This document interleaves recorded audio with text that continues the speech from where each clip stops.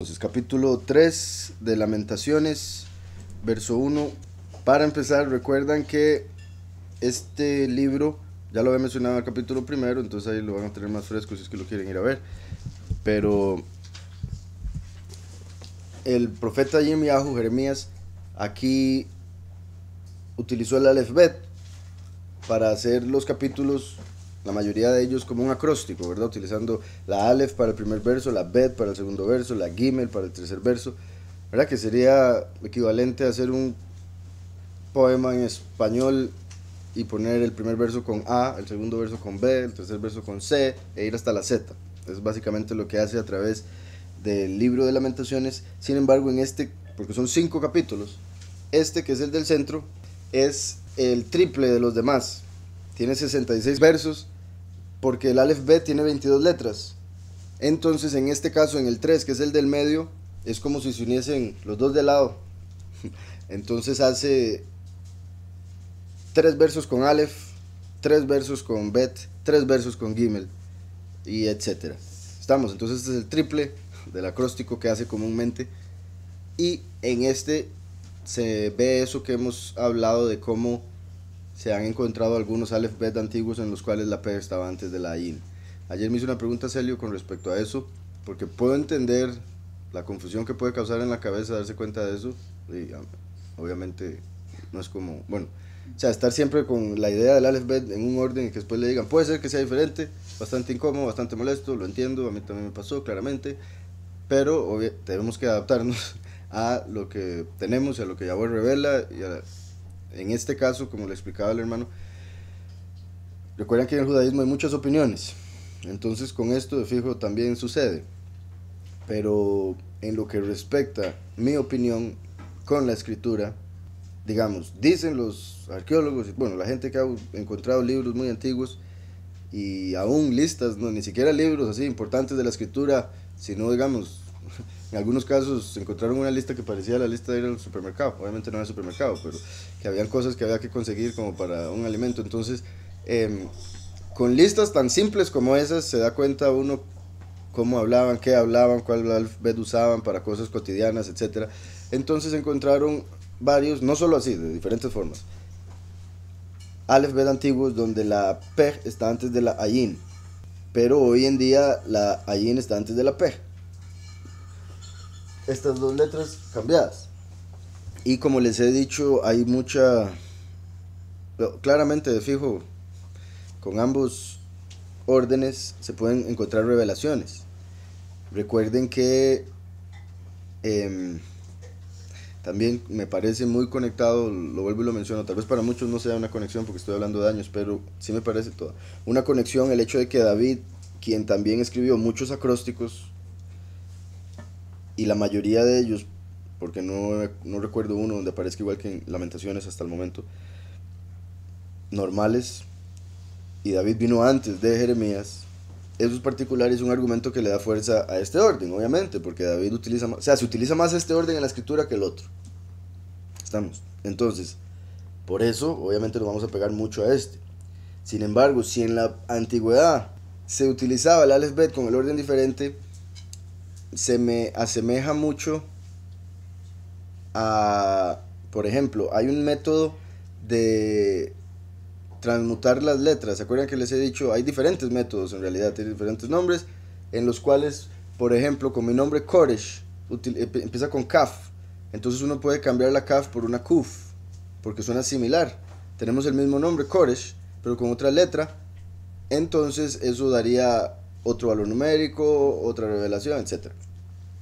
Hay otro tipo de, de transmutar las letras, por ejemplo, con cambiar la Aleph por una Tav, la Bet por una Shin, o sea, verlo completamente al revés. Y hay como cuatro o cinco métodos diferentes. Entonces, entendiendo que existen esos métodos para encontrar diferentes revelaciones, diferentes gematrías y demás, se puede entender el cambio de la AIN y la PEG como otro de esos métodos, como una letra intercambiable en gematría. ¿Sí me explico? Y se conectaría con eso que David dijo, porque la vida del hombre serían 70, a lo mucho 80, como que son intercambiables el 70 y el 80. Puede ser que 70, puede ser que 80. puede ser que la P esté primero, puede ser que la IN esté primero. ¿Sí me explico? Y, digamos, David lo utilizó, el normal este. Está ese método de transmutación de letras, de cambiar las letras. Y como sabemos, Yahweh hizo dos Aleph Bet, uno celestial y uno terrenal. Entonces, si hizo dos alfabetos, dos Aleph Bet, entonces se puede decir o deducir, se podría pensar que quizá el original, el celestial, es P Ayin y el terrenal Ayin P. Sabemos que la P es una boca, Ayin es un ojo. Yahweh desde los cielos habló y todo fue creado. En ese caso la boca estaría primero. En lo que respecta a lo terrenal, uno primero ve con los ojos. Por eso la sociedad se lleva tanto por la vista. Entonces uno llegó a ver lo que Yahweh habló. Mientras que Yahweh habló y después se vio la materia. ¿Sí me explico? Entonces también me parece una forma de verlo y repito, mi opinión con todo lo que ya mencioné y uno que otro detallillo más que no mencioné, que se podría ver como el Aleph Bet con la Ayin primero, el terrenal, donde le ponen, donde es lo material que se ve, y el cielo con la fe, lo que se habla, por eso sería la P primero. Eso mismo que acabamos de decir, del Aleph Bet celestial, que sea la P primero, porque el hombre tiene una boca como Yahweh es uno, y solo debería salir un tipo de agua de una fuente. Y ahí es dos, dos ojos, y es esta realidad donde existe la dualidad. Entonces sí se podría ver también otra confirmación de que primero vino la Pej y después la Ain, al menos en el alfabeto celestial. Sí, buen punto. Y de fijo vamos a seguir encontrando cosas. Digamos, como les he dicho, o sea, es muy interesante porque una de, las, de los problemas, o me imagino preocupaciones de, de Celio, que al final yo creo que, o sea, no deberíamos preocuparnos tanto. Eh, porque Yahweh le encuentra solución a todo y, eh, a través de la solución se puede encontrar todavía más revelación. Porque digamos, con el, el orden que todo el mundo conoce y que todos los judíos siguen, judíos que no creen en el Mesías, vemos que el valor numérico del nombre Yahushua es 391. Mismo valor numérico de Mashemo. ¿Cuál es su nombre? Entonces es poderosísimo que para los hombres Yahweh haya dejado el valor numérico 391. Por si se preguntan, ¿cuál es su nombre? Yahushua.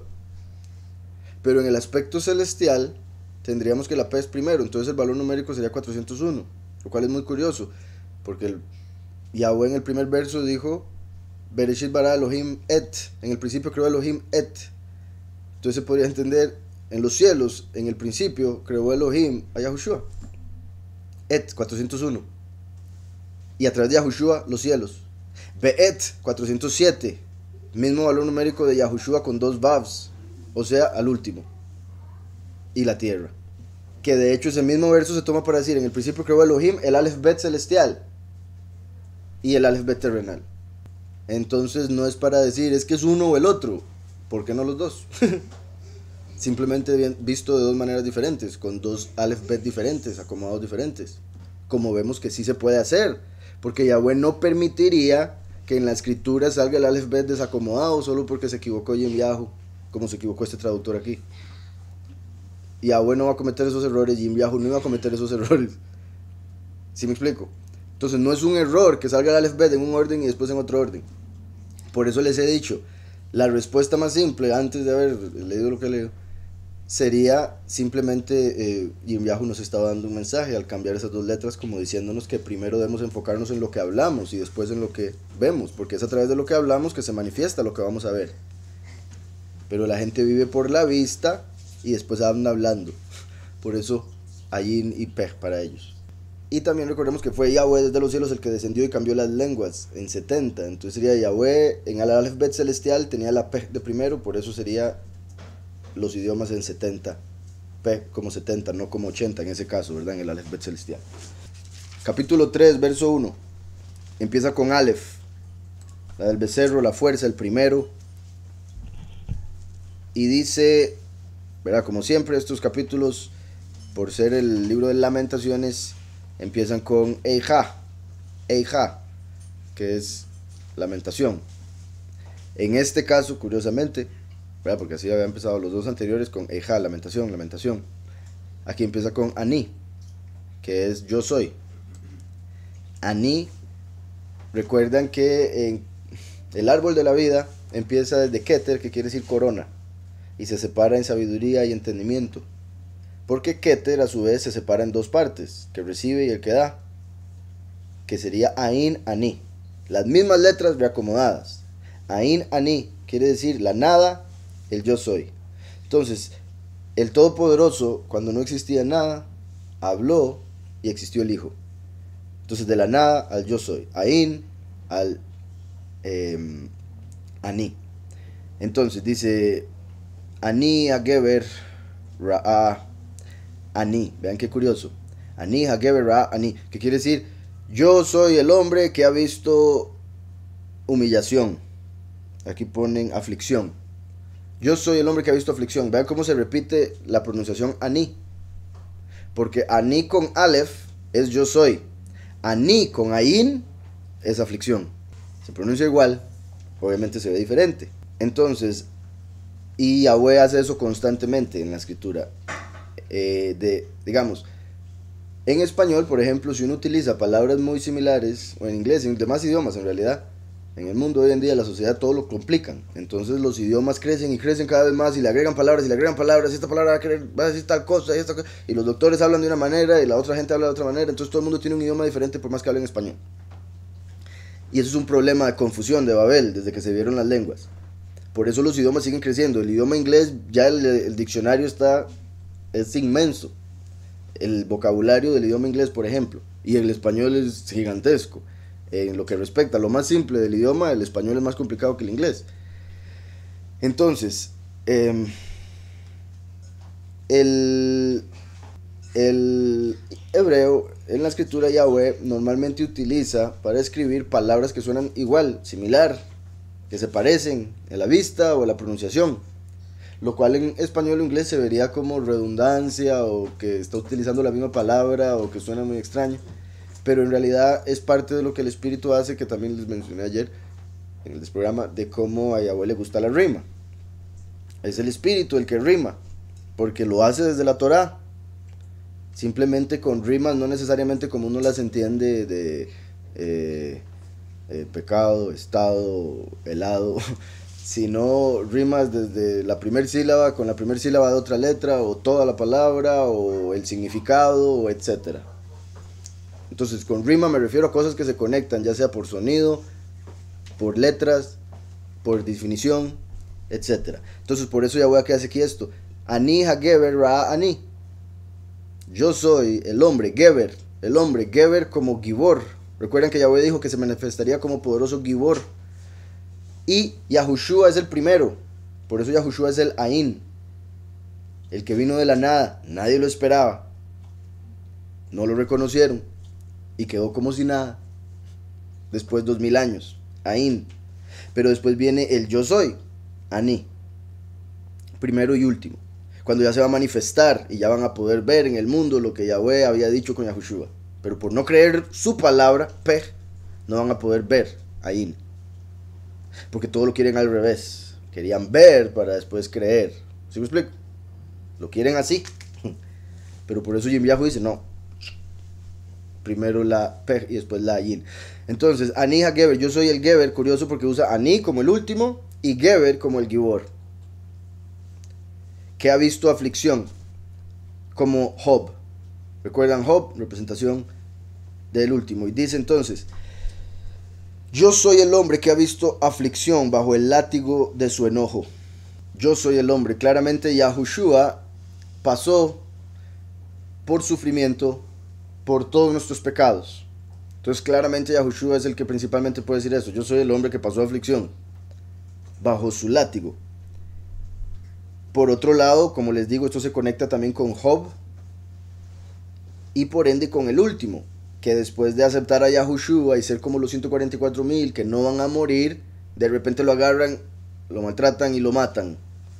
Entonces ese momento de 10 días que aparece en Apocalipsis como el día, el tiempo de tribulación que van a pasar los dos testigos, sería el principal momento donde esto se da, como Sansón cuando lo atraparon y le sacaron los ojos. De hecho, ahora se conecta más. Vean lo que dice. Me guió y me llevó en oscuridad y no en luz. Como Sansón cuando le sacaron los ojos. anduve en oscuridad. Ahora, esto de me guió y me llevó en oscuridad y no en luz es confirma lo del lo del último, que Yahushua dijo, "Yo soy la puerta y el buen pastor, primero y último."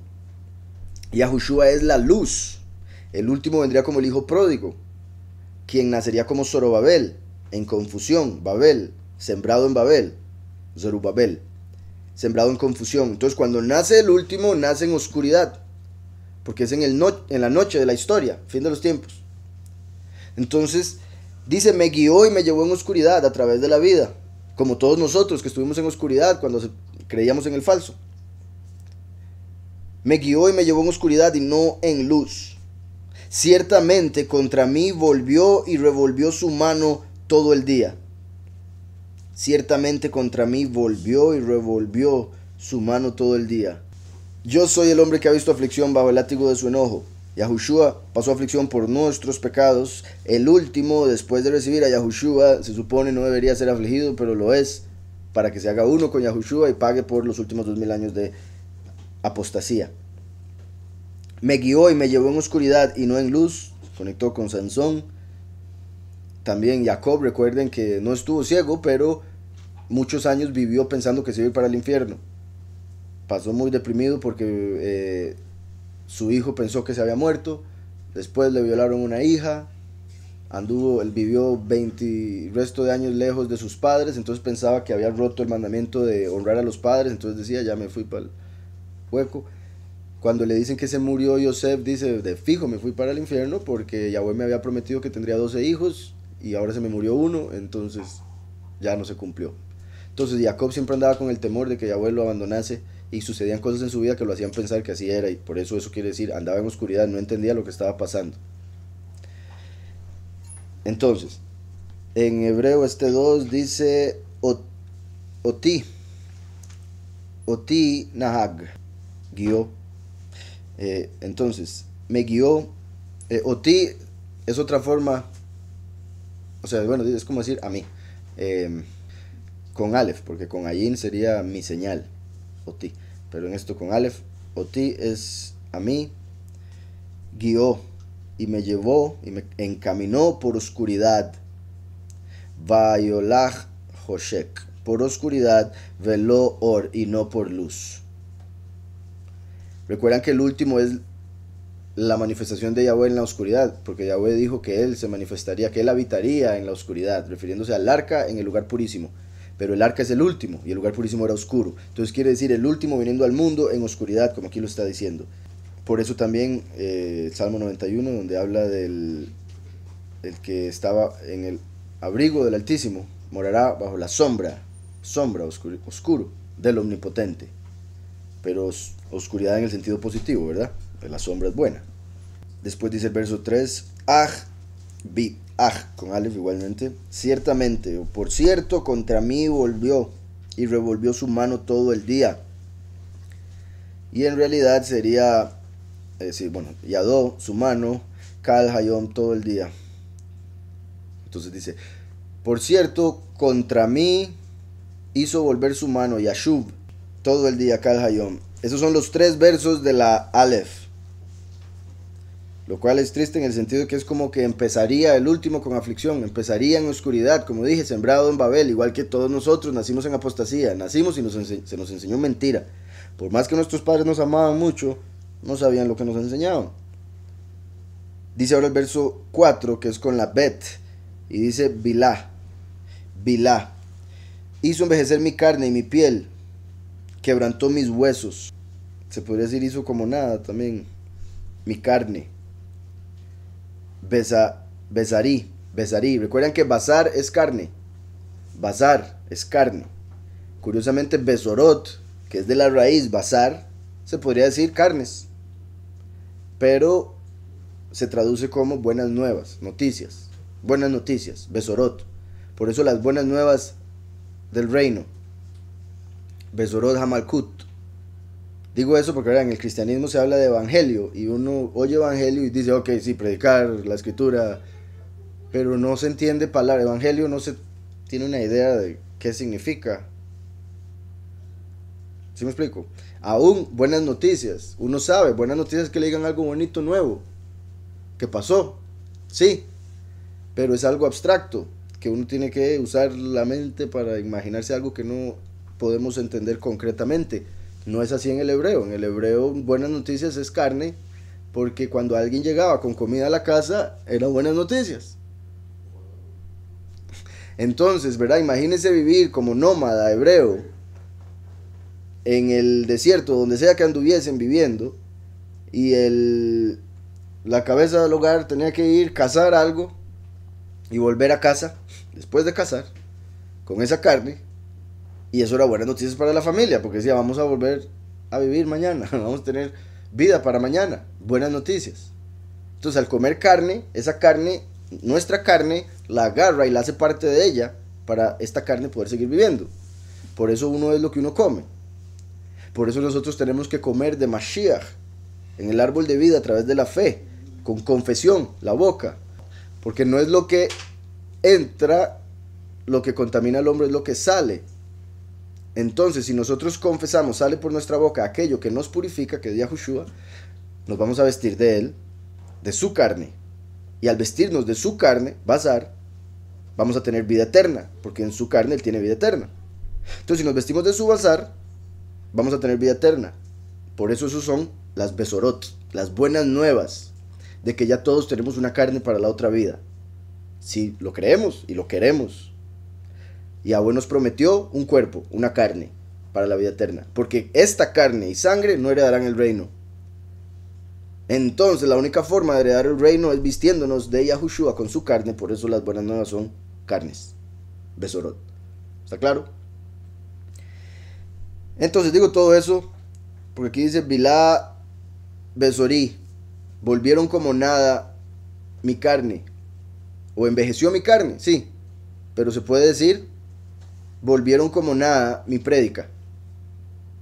Cuando maten a los dos testigos, van a decir que todo lo que predicaron los dos testigos era basura, no servía para nada, para qué los oyeron, no ve que eran unos esto, unos lo otro, y vea cómo terminaron. Y de fijo, lamentablemente, todas las familias de los 144 mil que no hayan aceptado a Yahweh y a en ese momento van a aprovechar para llamar y decir, ve, se lo dije. ¿Está claro? Se lo dije que usted estaba loco en una secta, bla, bla, bla, bla, bla, bla. Entonces hay que estar firmes. Salmo 23.4 dice, aunque ande en el valle, en valle de sombra de muerte, aunque ande en valle de sombra de muerte, ¿verdad? No en la sombra del Altísimo, sombra de muerte, o sea, aunque haya nacido en oscuridad, no temeré mal alguno, porque tú estarás conmigo. Tu vara y tu callado me infundirán aliento. Entonces, por más que ande en oscuridad, ya voy a andar con uno. Por más que no lo pueda ver, él va a andar con uno. Como esa historia, ¿verdad? Que yo creo que todo el mundo conoce de las sandalias. De cuando solo veía una, un par de sandalias y era porque Mashiach cargaba a esa persona. Y la persona quejándose de, ¿por qué solo veo un par? ¿Dónde estás? Lo estaban cargando. Aunque ande en valle de sombra de muerte, no temeré mal alguno, porque tú estarás conmigo. Tu vara, el primero, y tu callado, buen pastor, me infundirán aliento. Tu vara, el cumplimiento de la Torah. La vara mide juicio, Torah, ley. Y tu callado, buen pastor, con el que se atrae a las ovejas, me infundirán aliento. Primero y último, me darán aliento. Vamos a ver cuál es la palabra que utiliza para aliento. En hebreo es, sí, como, bueno, no es, por si algo no es aliento de Neshama, se refiere como aliento de impulso, de fuerzas para continuar. Entonces, vuelvo a Lamentaciones, está en el 4, Bilá, Besorí, Besarí, que va a pasar con los dos testigos cuando prediquen, después van a hacer como si todo fuera mentira. Tras de eso, verá Bilá, se puede conectar con Bilam. Bilá termina con Hey. Bilam, la A de Bilam es una Ain de pueblo. Em, pero el Bil es el mismo. Y Bil se podría decir Bal, que es el Señor. Entonces, como cuando maten a los dos testigos, van a cambiar su evangelio por aquel de el Señor. Al decir volver su evangelio nada. ¿Cómo hicieron eso? Al empezar a adorar a Baal. Volvieron la verdad mentira, puesto que adoran a la mentira hoy en día. Y es mentira que adoran también. Entonces, eh, Beorí y mi piel. Entonces, em, ahora dijo, me guiaste por oscuridad, veló or, pero no por luz. No por luz, or con Aleph. Ahora está diciendo, y mi piel, aquí donde dice, y mi piel, ¿verdad? Donde dice que envejeció. y después dice quebrantó mis huesos. Aquí donde dice mi piel en hebreo es ori. Ori es mi piel, empieza con ayin. Ori con aleph es mi luz. Entonces vean cómo dijo or para luz y ahora en el otro verso dice or para piel, conectando eso que les decía de rima o de cómo ya voy a conectar las palabras. Pero más que eso, es interesante que se pronuncien igual, se escriben diferente. Porque Or con Ain, como la Ain de este mundo, que se ve lo material, la piel que veríamos sería la temporal, en el sentido de esta piel de este mundo es Or con Ain. Pero en la otra vida Yahweh nos va a dar otra carne, como lo hablé ahora, la de Mashiach. Y Yahushua HaMashiach es la Or, es la luz. Entonces nos vamos a vestir de luz, nos vamos a vestir de Or con Aleph, en vez de Or con Ayin. Va a cambiar la piel temporal por la piel eterna. La piel de materia que se ve por la piel del primero, Aleph, Mashiach, eterno, poderoso. Y se podría decir la primer piel que Yahweh quería que tuviésemos. Porque Adán y Eva vinieron bien, pero cuando pecaron se les vistió de piel con ayin. Esta piel de polvo. ¿Estamos? Entonces, además de eso, me parece curioso, como les digo, que dice quebrantó mi carne y mi piel. Se podría decir, hizo como nada mi evangelio y mi luz. Entonces después dice, quebrantó mis huesos. Quebrantó mis huesos. Recordemos que los huesos de Mashiach no se quebraron. De hecho, lo iban a ir a quebrar las rodillas para que cayese y se muriese más rápido, pero cuando llegaron ya estaba muerto. Entonces no hubo necesidad de quebrarlo. Y eso Yahweh lo hizo, se llevó su vida antes de que lo quebraran, porque está escrito que el cordero no se le puede quebrar ni un hueso. Entonces, en la fiesta de Pesach traían un cordero y decían, cuidado le quiero un hueso porque rompemos todo el mandamiento. Entonces había que cocinarlo y todo con los huesos bien. Porque representaba que Yahushua vendría y no lo quebrarían. Entonces, cuando llegó el hombre que lo iba a matar, perdón, que lo iba a quebrar, y se dio cuenta que estaba muerto, cuando lo atravesó con la lanza, dijo, no, ¿para qué voy a quebrarlo? No tengo que quebrarle las piernas porque ya está muerto. Entonces lo dejaron así ni un hueso fue quebrado, como fue profetizado. Ahora, aquí dice esto, quebrantó mis huesos, puede referirse al último, es posible que eso sí pase en el sentido de la forma que lo maten de una manera muy, eh, o sea, si es fuego del cielo, puede ser que sea bastante el golpe y uno que otro hueso quede partido. Eh, por otro lado, etzem, hueso, se refiere a de hecho, ¿verdad? como les he dicho, es, empieza como árbol. Entonces por eso se podría decir que los huesos son como los árboles del cuerpo. O las, eh, así como un árbol es duro, fuerte, así los huesos. Em, entonces quebrantó mis huesos, como básicamente el hecho de que lo mató, le quitó la firmeza en la que se encontraba, siendo como uno de los árboles de los 144 mil. Construyó baluartes sobre mí, en hebreo, baná, Baná construyó, con Bet igual, construyó sobre mí baluartes y me rodeó de amargura y de trabajo. Y me rodeó de amargura y de trabajo. Y a ¿verdad? En lo que respecta a trabajo físico, era carpintero, pero no es eso a lo que se refiere. Dice me rodeó de trabajo. No es como que Yahushua era adicto al trabajo y Yosef lo pasaba, ¿verdad? Hágame 20 mesas para hoy. Era, no vemos nada en la escritura así. En realidad cuando dice me rodeó de trabajo se refiere a trabajo que lo hace a uno, bueno, por ejemplo, el Shabbat es descansar del trabajo. Porque los otros seis días se está trabaja y trabaje para la carne, lo cual es una representación de trabajar para el enemigo. Porque el que peca es esclavo del pecado Y el esclavo tiene que trabajar y trabajar y trabajar y trabajar. Está rodeado de trabajo el esclavo. Entonces el que peca está rodeado de trabajo. Por eso dice me rodeó de trabajo como el último que cae, como el hijo pródigo y todos nosotros en el error. Y nos costó mucho trabajo llegar acá. Y ahora que llegamos, cuando le hacemos caso al enemigo, cuesta mucho trabajo seguir. Porque se da la lucha, es una guerra espiritual. ¿Está claro? Entonces me rodeó de trabajo, porque a esta vida vinimos a trabajar. El descanso es en la otra y a trabajar en el espíritu, no en la compañía de quién sabe quién. ¿Verdad? Trabajar en nosotros. Me rodeó de trabajo, tengo un montón de cosas que mejorar. ¿Sí me explico? Ese es el punto.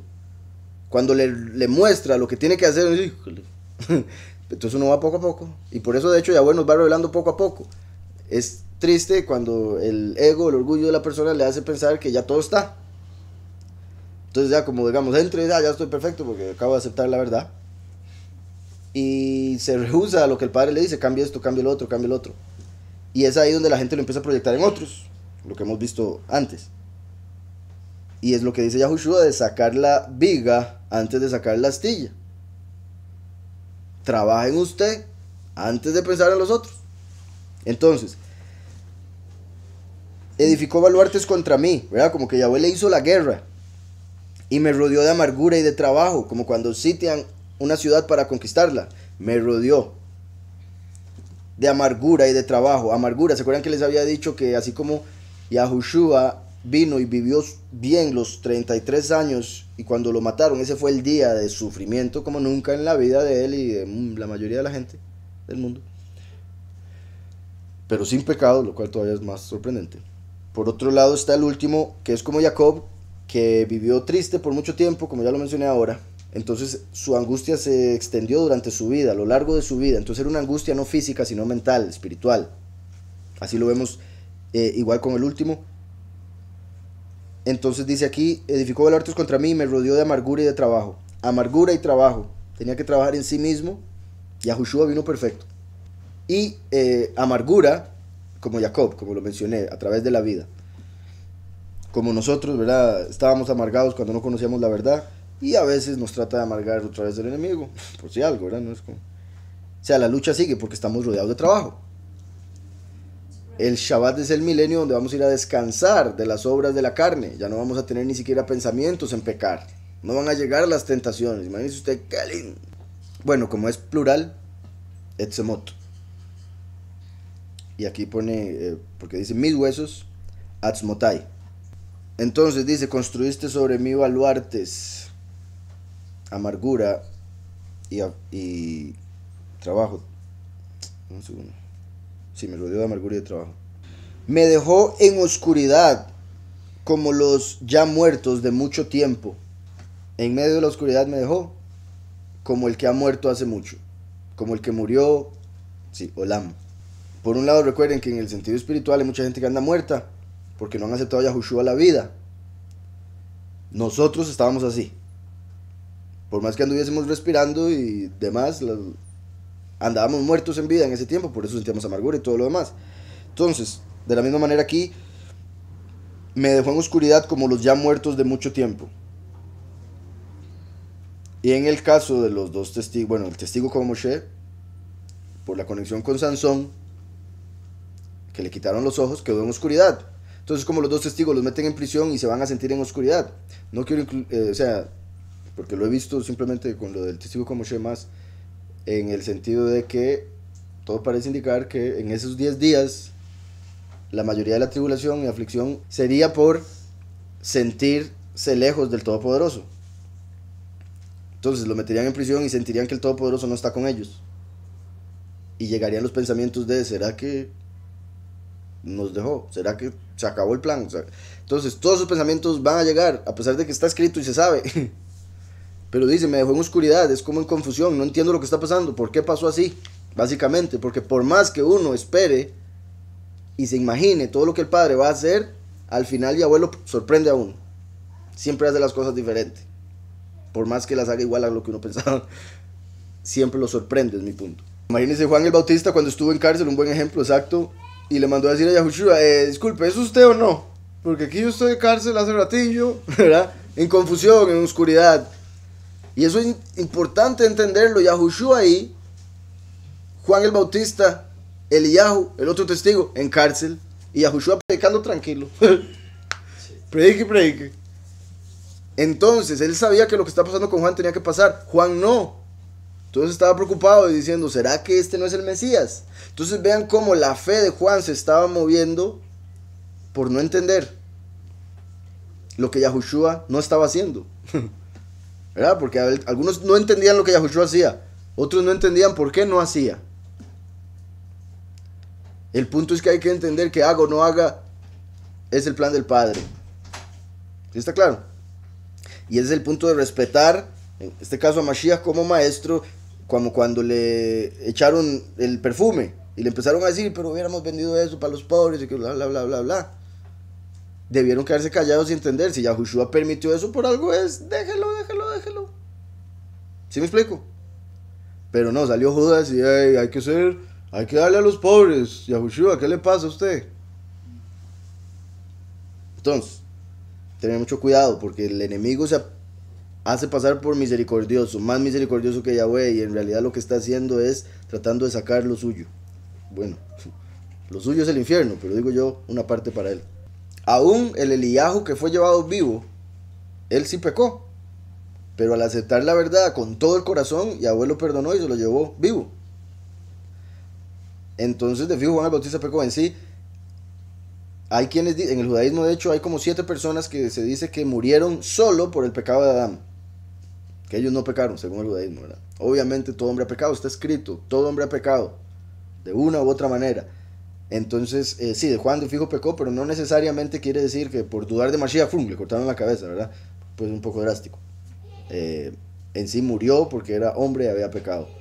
Porque él, al igual que otros, estaba esperando el cumplimiento ya del último.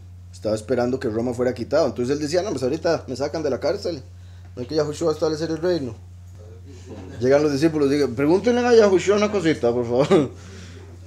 ¿Qué, qué? ¿Yo qué? Dice entonces el verso 6, me dejó en oscuridad como los ya muertos de mucho tiempo. Que sí, se podría ver como Juan el Bautista diciendo Yahushua, me dejó aquí, como si ya me hubiera muerto. Hay mucha gente que se siente así exactamente y no entienden que es parte por algo. Cuando Yahweh se oculta, no necesariamente es para que nosotros nos, nos aflijamos. A veces, la mayoría de las veces, es para probar nuestra confianza, nuestra fe. Y obviamente Él es invisible, entonces cualquiera diría, paso oculto, pero no, en realidad uno lo pasa viendo si tiene los ojos abiertos. Pero cuando le quitan los ojos espirituales, la persona llega a sentir que está sola. Y el enemigo se aprovecha. Entonces, me dejó en oscuridad como los ya muertos de mucho tiempo. Donde dice lo primero, yo soy el hombre que ha visto aflicción bajo el látigo de su enojo, como un becerro, Aleph, que lleva látigo para trabajar. Me guió y me llevó en oscuridad y no en luz, como el becerro que hay que guiarlo para que are la tierra. Y no es como que el becerro específicamente sabe para dónde va, es el dueño el que le dice a dónde ir. Entonces el becerro va en oscura, ¿verdad? En oscuridad, no saber. Ciertamente contra mí volvió y revolvió su mano todo el día. Y el último es como un becerro, ¿verdad? Que muere en Yom Kippur. Después dice, y en el ya el 4, que es con la bet, hizo envejecer mi carne y mi piel, quebrantó mis huesos. El cuerpo, el cuerpo es la bet del alma. La bet es una casa. Entonces está diciendo, quebrantó mi casa, la casa de mi alma. Hizo envejecer mi carne y mi piel, quebrantó mis huesos. Edificó baluartes contra mí, edificó como una casa. Y me rodeó de amargura y de trabajo, como una cerca de la casa, Bet. Me dejó en oscuridad, como cuando uno construye una casa y no le ha puesto la electricidad. Yo sé que aquí no hay electricidad, pero lo que me refiero es que Yahweh creó la tierra y estaba en tinieblas, desordenada y vacía y después creó la luz y después puso la lámpara. Como una casa, ¿está claro? Entonces por eso lo, dije aquí, me dejó en oscuridad después de haber construido, como los ya muertos de mucho tiempo. Como una casa en oscuras, una persona muerta, porque ya no tiene la luz de la vida, ya los ojos no se le abren. Si es que están cerrados. Entonces, eh, Después me dejó en oscuridad como los ya muertos de mucho tiempo. Verso 7, ahora con la Gimel. Me cercó por todos lados. El 7. Gadar, Gadar, con la Gimel. Me cercó por todo lado. Baadei. Se podría también traducir me cercó con el testigo. Me cercó a través del testigo. O del testimonio. Entonces, los 144 mil en el positivo van a ser, van a tener como cerca a los dos testigos, la prédica para que los proteja. Los dos testigos van a acercar a los escogidos para que no les pase nada. En lo que respecta el lado negativo, me acercó con el testigo, estaría hablando de los muchos que van a ser separados de los pocos a través del testigo y del testimonio. ¿Se me explico? La cerca Aquí está diciendo cercar, gadar, pero en eh, lo que son letras es la het, que separa. Y es el 8, nuevo comienzo. Entonces, y no eitzei. Dice, me cercó por todos lados y no puedo salir. Eitze, etzei. Salir. Yo saldré. Y no podré salir, dice. Entonces, como el Seol es, una, es un lugar, un espacio donde van las almas y no pueden salir, a menos de que Yahweh lo determine. Por eso Yahushua vino, bajó para abrir el Seol y sacar a quien él quería. Por eso Yahushua, a través del testimonio y la palabra, nos da las llaves del Seol y la muerte. Seol palabra, perdón, Seol testimonio, porque a través del testimonio que creemos en el corazón somos justificados para salir del Seol, por eso es la llave del Seol. La palabra de Yahweh es el nombre del Hijo Yahushua que nos da la vida eterna. Por eso es la llave de la muerte. Los 144.000 tienen ambas, entonces no mueren.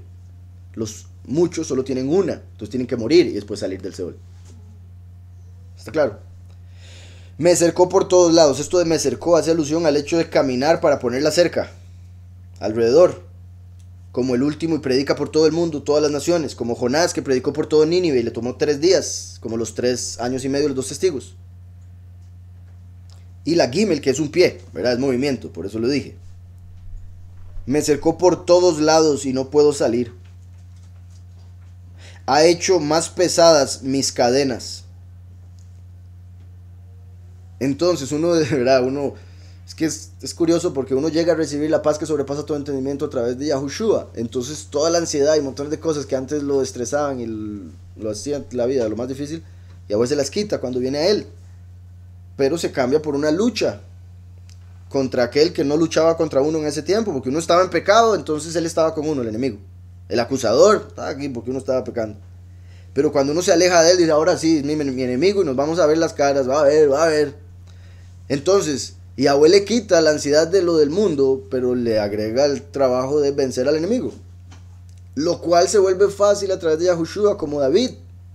A David se le hizo facilísimo matar a Goliat. ¿Cómo es posible, David, un joven tan fácil, mató a Goliat y estaba todo Israel con miedo, temblando por Goliat? Porque no tenían fe. Pero David llegó con una piedra, Yahushua lo botó con la espada, la Torá, lo mató. Eso es todo. Tengamos fe, leamos la escritura y pongámosla por obra. Y vamos a matar a Goliat. Así de simple. Entonces, me cercó por todos lados y no puedo salir. ¿Verdad? A través de la muerte, por el pecado. La ley nos acusa por todo lado. Y es por esa ley que nos acusa que la persona muere. Y es por esa muerte que va al Seol. Y por eso queda encerrado. A menos de que tenga Yahushua. Ha hecho más pesadas mis cadenas. Como el último, ¿verdad? Pasa la angustia a conocer a Yahushua y dice, ya, y lo atrapan. Entonces se vuelve más pesado de lo que antes pensaba. Que sería el ministerio, por ejemplo, o la misión. Me dejó en oscuridad como los ya muertos, ya lo había dicho eso. Ha hecho más pesadas mis cadenas. Sí. ¿Verdad? Las cadenas se conectan con los pecados como, digamos, un esclavo demasiado rebelde, hasta lo amarraban para que no se escapara, por ejemplo. Entonces, el pecado esclaviza. Cuando uno peca, se está poniendo cadenas que lo amarran a un espíritu, un demonio, lo que sea. Entonces esto se puede conectar con cómo todos nosotros, por el pecado, se nos volvió más difícil el camino. Como el hijo pródigo, por haber pecado, lleva cadenas que tienen que ser arrancadas a través de Yahushua, como las maldiciones generacionales, son cadenas. ¿Estamos? También curioso que aquí donde dice pesadas, higbit, higbit, de kabod, pesado, que es la estima, el honor. Entonces es como que Yahweh hace que lleve peso a través del pecado y demás en esta vida para después él se convierta en el peso de la estima de Yahweh en la tierra. Como la corona pesada sobre la cabeza del rey, el collar pesado en el cuello. Eso es la estima de Yahweh, Kabod. Entonces sabemos que Yahushua vino como el camino, la presencia, el favor. El último viene como la estima, el honor, el esplendor. Entonces curioso que diga aquí, hizo pesadas mis cadenas, como diciendo porque él se va a convertir en el peso. Me hizo pesado, pero obviamente eso lo va a llevar a sufrir. Nehashti, Nehashti, dice Higbid Nehashti, que eso sería lo que, ya, lo que aparece aquí como mis cadenas, pero se podría decir Nahashti. Se puede conectar con Nehoshet de bronce, como diciendo que las cadenas fueron puestas por Grecia. Las cadenas fueron puestas por la doctrina falsa griega cristiana. ¿verdad? Cristiano es término griego y todo lo cristiano está conectado con lo griego, lo católico con lo romano. Pero el bronce es Grecia y dice como si las cadenas fueran de bronce por haber estado en la apostasía. Esa es la cadena que se ha puesto en la congregación los últimos dos mil años, cadenas de bronce por la apostasía. Y el bronce, Nehoshet, tiene como raíz Nahash, que es serpiente. Entonces, ¿quién es el que al final nos pone las cadenas? La serpiente. ¿Por qué? Porque pecamos y él se vuelve nuestro acusador. Y por eso Yahweh le reclama a Lucifer que él es el que metía preso a la gente y no les dejaba salir nunca más. Como el hecho de por la acusación los metía al Seol, los mataba.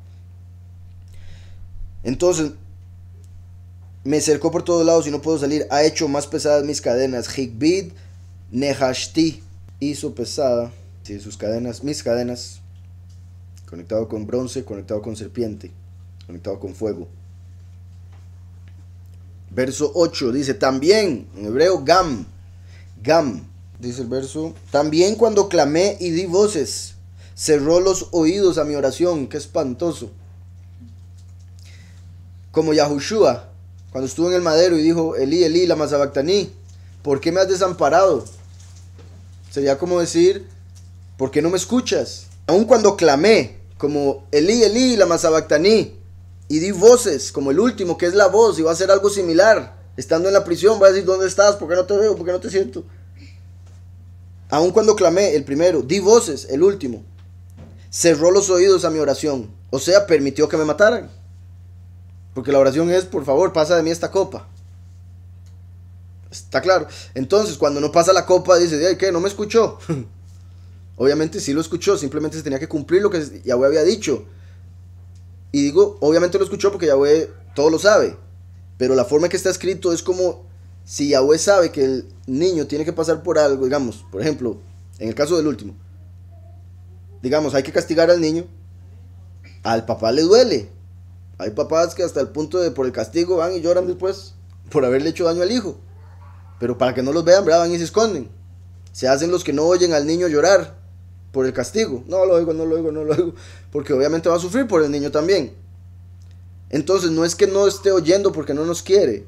Es porque se tiene que cumplir lo que se tiene que cumplir. Es porque tenemos que aprender, tenemos que pasar por el castigo para aprender sabiduría. Bendito Yahweh, mayoría del castigo ya ha pasado. Por otro lado, aun cuando clamé y di se cerró los oídos a mi oración. Como nosotros todos, antes de conocer a Yahushua, Yahweh tenía los oídos cerrados porque invocábamos a Jesús y a Jehová, y a Dios, y al Señor. Entonces tenía sus oídos cerrados para nosotros, hasta que a través de Yahushua nos abrió los oídos. ¿Por qué? Porque Él circuncida los oídos. Ajá, exactamente. Los muchos, después de que matan a los dos testigos, se van a dar cuenta que lo que invocaban no servía para nada y van a decir, ya, y cerró sus oídos. No, simplemente los muchos habían tenido sus oídos cerrados todo el tiempo. Entonces ahora le toca a Yahweh. ¿Estamos? Entonces, eh, como dice la escritura, si uno lo niega, él lo niega a uno. Si uno se tapa los oídos, él se tapa los suyos. Estamos. Pero si uno es infiel, él no puede ser infiel, no se puede negar a sí mismo. O sea, uno lo puede negar porque tiene libre albedrío y él permite eso, pero él no se puede negar a sí mismo. ¿Cómo se va a negar? Es como si uno dijera, si yo no existo, viéndose en eh, espejo. Siendo Yahweh el que causa la existencia, es el mismo nombre. Por otro lado, otra cosa aquí interesante, me pareció curioso el, el verso este 7 y 9, los dos empiezan igual, Gadar, me cercó, Gadar. Y como pueden oír, Gadar empieza con Gad como diciendo que fue Gad, Dios en inglés, quien cercó al pueblo para que solo creyesen falsedad. Los rodeó de mentira, la falsa doctrina. ¿Sí está claro? Entonces, cercó Gadar, empieza con Gad, como Yahweh permitió que Gad nos sitiara, nos rodeara de mentira. Por eso como enemigo, ¿quién es el enemigo? Gad, Satán. Entonces, aun cuando clamé y di se cerró los oídos a mi oración. Verso 9, cercó mis caminos con piedra. Cercó mis caminos con piedra labrada. Torció mis senderos. Esto es tan poderoso porque hay mucha gente que con lo de la segunda venida, como dijo Pródigo, tienen problema. Porque no pueden creer que Yahweh enviaría a alguien o se manifestaría como alguien que caería en el error como si el error tuviese algún poder contra Yahweh. Por otro lado, está escrito, y lo vamos a leer este Shabbat, si no me equivoco, de Yahweh es la pureza y la mancha es de sus hijos. Entonces el último cumple eso. El hijo que se mancha por desobediente, no entender, por lo que sea que se quiera ver. Entonces, el, o sea, la, idea del último, como dijo Pródigo, es clave para que se cumpla todo el plan del Padre. No es que al Padre le guste el pecado, no es que eh, los 144 mil tengan que aprender el pecado del último en lo absoluto, no tiene nada que ver con eso, más bien lo que tienen que aprender los 144 mil es el ejemplo de que aún habiendo estado en pecado se puede salir completamente hasta convertirse en rey a la par de Mashiach. El último viene siendo el ejemplo de que aún habiendo estado en error, en pecado, sin conocer al Todopoderoso, Yahweh se le puede revelar para sacarlo de ahí y llevarlo a lo alto. Estamos, en vez de solo enfocarse en que pecó, ay, qué malo, porque volvemos a lo mismo del mundo, las apariencias y juzgar y condenar y decir que Yahweh está equivocado por cómo hace las cosas. Cercó mis caminos con piedra verdad, torció mis senderos, eso, torció mis senderos, ¿cómo? Que Yahweh lo torció a uno. O sea, Yahweh es recto. Yahweh quiere que hagamos todo correctamente cuando viene el último, por el plan de Yahweh, Yahweh hace que venga torcido, para que se cumpla como tiene que ser. Por eso dice, Él me torció. No es una excusa para decir, ah, yo peco por usted, no. Que quede claro, usted me hizo pecador. No. Es simplemente en su plan, por su voluntad, para que fuere perfecto, permitió que a través de mi vida se diese la torcedura. De tal forma que el que entiende que todo lo hace Él dice, usted me torció, Usted permitió que me torciera cuando le dije que por favor no. Usted me hizo nacer en Babilonia, lo cual me enseñó torceduras. ¿Sí me explico? O sea, que quede claro, David aquí no le está echando la culpa de usted quejándose. Es simplemente el entendimiento. Pero lamentablemente para el impío lee eso y dice, ah, sí, David, quéjese. ¿Está claro? Es él el que nos tuerce a todos. Y no es así. Y a buenos dio el libre albedrío. Y el hombre con el libre albedrío se tuerce. Por eso el hombre nace recto, pero después encuentra muchas cosas para torcerse. Entonces, en realidad, es la inclinación al mal la que nos tuerce. Pero es que Yahweh nos dio el libre albedrío para escoger lo malo si queremos. Entonces, por eso usted me torció, porque me dio el libre albedrío. Usted me torció porque me permitió hacer lo que me diera la gana. Por eso uno ora y pide la voluntad de Él. Y muchas veces, yo no sé ustedes, pero digamos, yo he orado casi para que me la quite, en el sentido de la voluntad propia, porque es ahí donde uno comete los errores. Pero Yahweh dice, no, porque ese no es el plan. Tiene que aprender y sin libre albedrío no va a aprender, sin libre albedrío no va a saber por qué escoger lo bueno es mejor. Y otro montón de cosas, o sea, muchas razones, claramente. Yahweh no quiere robots. Cercó mis caminos con piedra labrada. Gadar Derajai. Mis caminos con piedra labrada, torció mis senderos. Yahushua es la piedra y es el camino. El último es el sendero y viene torcido. Es Yahweh que lo endereza. Como vemos en la escritura, David dice, endereza mis pasos. Es Yahweh que endereza mis pasos. Entonces Yahweh lo endereza, pero viene torcido. Por eso aquí habla de sendero torcido y camino con piedra. Sí, exacto, ese es, el, ese es el punto, es el ejemplo. El último viene a ser el ejemplo. Por eso es que Yahushua mismo dijo, él vino la primera vez para poder apegarse a Yahweh. Ahora la última vez viene para poder apegarse al pueblo. Entonces es como Yahweh sujetó todas las cosas a él en la primera venida. La segunda venida, él mismo se sujeta a Yahweh. Y para sujetarse tiene que ser como todos nosotros en el sentido de necesitarle. Y nosotros le necesitamos en este mundo porque hemos fallado.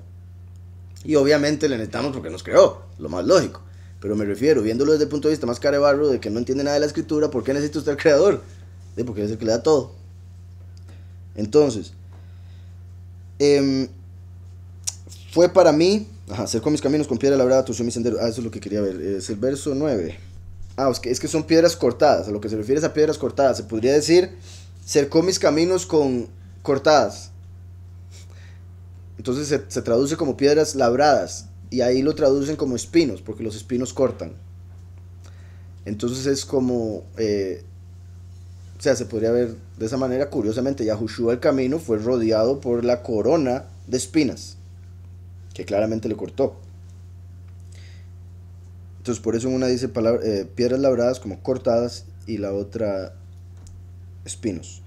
Fue para mí como oso que acecha, como león en escondrijos. En Josea, ¿recuerdan? Este lunes leímos esto mismo. ¿Ven cómo se conecta? Parecería que lo hemos leído aquí mismo. En Josea Yahweh habló el estudio anterior de esto. Fue para mí como oso que acecha. El oso son los persas. Hoy en día Irán. Qué curioso. Qué curioso lo que está pasando. Eh, fue para mí como oso que acecha. Como ahorita Irán está acechando, viendo a ver cómo destruye Estados Unidos e Israel. En el sentido de, obviamente Yahweh es el que hace esto porque Yahweh permite que esas naciones hagan eso para que se cumpla su voluntad al final de limpiar la tierra de todo impío. Fue para mí como oso que acecha, oso, los persas. Los persas en el sentido positivo representan a los escogidos. Ciro al último. Entonces, fue para mí como oso que acecha, como león, león de Yahudá, en escondrijos. Ambos positivos. Como Ciro de los persas, como león de Yahudá. Que conquistó Babilonia, Ciro, ¿verdad? Por eso la importancia, porque Babilonia tiene que caer en esos tiempos finales, entonces por eso Ciro representa eso fue para mí como oso que acecha, como cuando Elishua, que representa la segunda venida, así como Eliyahu, en el aspecto de que, cuando vemos el contexto de Eliyahu y Elishua, representan primero y último. Claramente, cada vez que viniese el primero y el último, una vez cada uno, cuando viniese el primero y el último, vendrían a la par con Eliyahu. Por eso Yahushua vino y Juan el Bautista. Ahora viene Moshe, Eliyahu nuevamente. Entonces, que se entienda cuando digo Eliyahu, Elishua, en contexto, primero y último. Por eso el último tiene la doble porción. Elishua hizo el doble de milagros que Eliyahu. Por eso Yahushua como Eliyahu dijo que harían cosas más grandes los del final. Entonces, Eliyahu y Elishua. Elishua una vez le dijeron pelón, mandó a llamar unos osos y se comieron a los 42 jóvenes. 42 jóvenes como los 42 meses que reina la bestia y que va a destruir la tierra como ese oso. Pero que se da por el mandato de Yahweh a través de la boca del último, Elishua, y por eso odian a los dos testigos y los van a ver, al menos en espíritu, como si fueran los culpables de todas las plagas. En Oseas 13:8 dice, como osa que ha perdido a sus hijos, los atacaré y desgarraré las fibras de su corazón y allí los devoraré como león. Fiera del campo los despedazará. Vean cómo dijo osa, león. Exactamente igual. Y es que parece como si se arreglaran aquí los estudios para que fueran todos conectados. Fue para mí como oso que acecha, como león en escondrijos. Satanás anda como león rugiente viendo a ver a quién devorar, entonces se esconde para ver dónde lo agarra caído. El otro como oso, eh, acechando, como el pecado que Yahweh le dijo a Caín, que acecha a la puerta. Curioso que el oso y el león, bueno, eh, Estados Unidos se conecta mucho con, con el águila, obviamente, porque tienen el águila como el símbolo. Pero hay mucha gente que llama a Estados Unidos Babylon, ¿verdad? Babilonia, por muchas razones obvias. Babilonia tenía como animal el león. Y no solo eso, el león también está conectado en cierta forma con Inglaterra. Y los Estados Unidos vinieron de Inglaterra. ¿Verdad? Los blancos al menos. Entonces, tenemos que, dice, el oso y el león, como si dijera Irán y Estados Unidos. Irán y los ingleses. Irán, Persa y Babilonia. ¿Está claro? Y lo digo todo, obviamente, por todo lo que está pasando ahorita. Aquí estamos en el verso 10, que es la Dalet, y empieza diciendo Dov. Dov Oreiv Hu, Li, para mí. Arie, león. Sí, aquí me parece que es masculino. O sea, por la forma que lo está poniendo, sí me parece que es masculino. En Oseas es donde dice Osa, ¿verdad? Pero aquí estoy en, en Lamentaciones y me parece que es masculino. Dice el verso 11 torció mis caminos. En realidad dice mis caminos torció. Derajá y Soreir. Mis caminos desvió. Como imagínense, vino Mashiach y le reveló la verdad desde que nació. Vino de una virgen. Viene el último y nace en el catolicismo o en el cristianismo. Entonces, lo que pensaba que era el camino, pues no, todo torcido. Mis caminos torció, desvió. Dice entonces, torció mis caminos y me despedazó, me dejó desolado. Me despedazó, me dejó desolado. ¿Verdad? Después de que maten al testigo como Moshe, se manifiesta el desolador, la abominación desoladora. Entonces la tierra va a ser desolada y todos los muchos creyentes que no aceptaron a los dos testigos. Entonces por eso, y me despedazó, me dejó desolado. También en el sentido de que el último lo van a matar de una manera diferente al primero, entonces habrá que ver cómo va a quedar el cuerpo. Verso 12, Daraj Kashto. Entensó su arco. Vean cómo entensó es Daraj, que se podría traducir, se podría decir Derech, que es camino. O sea, cuando el último entensa el arco, porque recuerden que el último es el que viene con arco, Yahushua es la espada, el último es el arco, Apocalipsis 6. Cuando el último intensa el arco, lo que está haciendo es dando el camino de Yahweh. Para que la gente entienda la doctrina del camino de Yahweh. ¿Sí me explico? Entonces, Derech Kashto se podría decir camino de su arco. Como el camino que lleva la flecha del arco. Pero dice, entensó el arco, que se podría decir que el arco se entensa para poder darle camino a la flecha. ¿Sí me explico? Entonces, muy curioso esa palabra ahí, como entensó siendo derech, pronunciado daraj, entensó su arco. Dice, entensó su arco y me puso como blanco para la saeta. Vean que acabo de decir ahora que los muchos serían como esos que van a terminar muriendo cuando se manifieste la abominación desoladora después de matar a los dos testigos. Y los muchos van a ser básicamente el blanco de las saetas del último. Porque el último no viene a criticar a las naciones que no aceptan a Yahweh, sino a los que dicen creer en Yahweh y no hacen lo que Yahweh manda, a los hipócritas, fariseos, etc. Entonces se van a volver el blanco de las flechas. Claramente el último se va a volver el blanco de las flechas de todos los pastores del mundo. Por ende va a sentir como que es el blanco de las flechas del Todopoderoso porque lo van a atrapar y matar. Entonces sí queda claro cómo se cumple con el último y se cumple con los muchos. O sea, se cumple con el que tira del arco y también el que termina muriendo, que es el mismo. Entensó su arco y me puso como blanco para la saeta, para la flecha, ¿verdad? La hates. Kamatará la heik. Sí, donde dice como blanco para su flecha, también se podría conectar con las lluvias. La lluvia tardía, siendo las flechas como lluvia. Cada flecha como una gota de lluvia. Recuerden que Yahweh puso el arco en los cielos, el arco iris como el arco de guerra. Por eso el arco de los cielos lo puso para que cada vez que llueva, o sea, caen como flechas las gotas de agua, nos acordemos que no va a volver a destruir la tierra por agua, con flechas de agua, ahora hacer flechas de fuego. Las lluvias son como flechas del cielo, por eso en el cielo está el arco. ¿Estamos?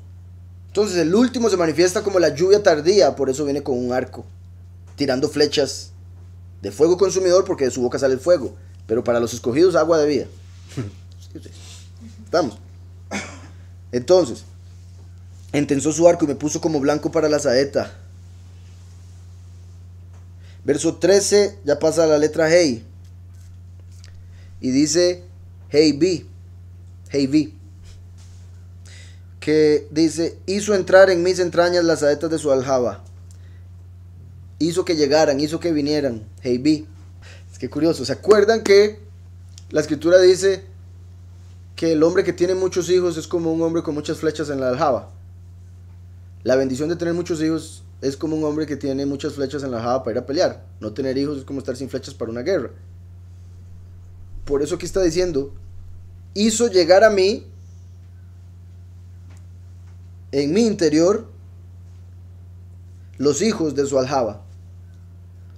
Entonces lo traducen como las flechas de su aljaba, pero es hijos en hebreo. ¿Por qué es eso curioso? Porque los hijos de Efraín se van a volver en contra del último y van a ser las flechas que lo van a atacar.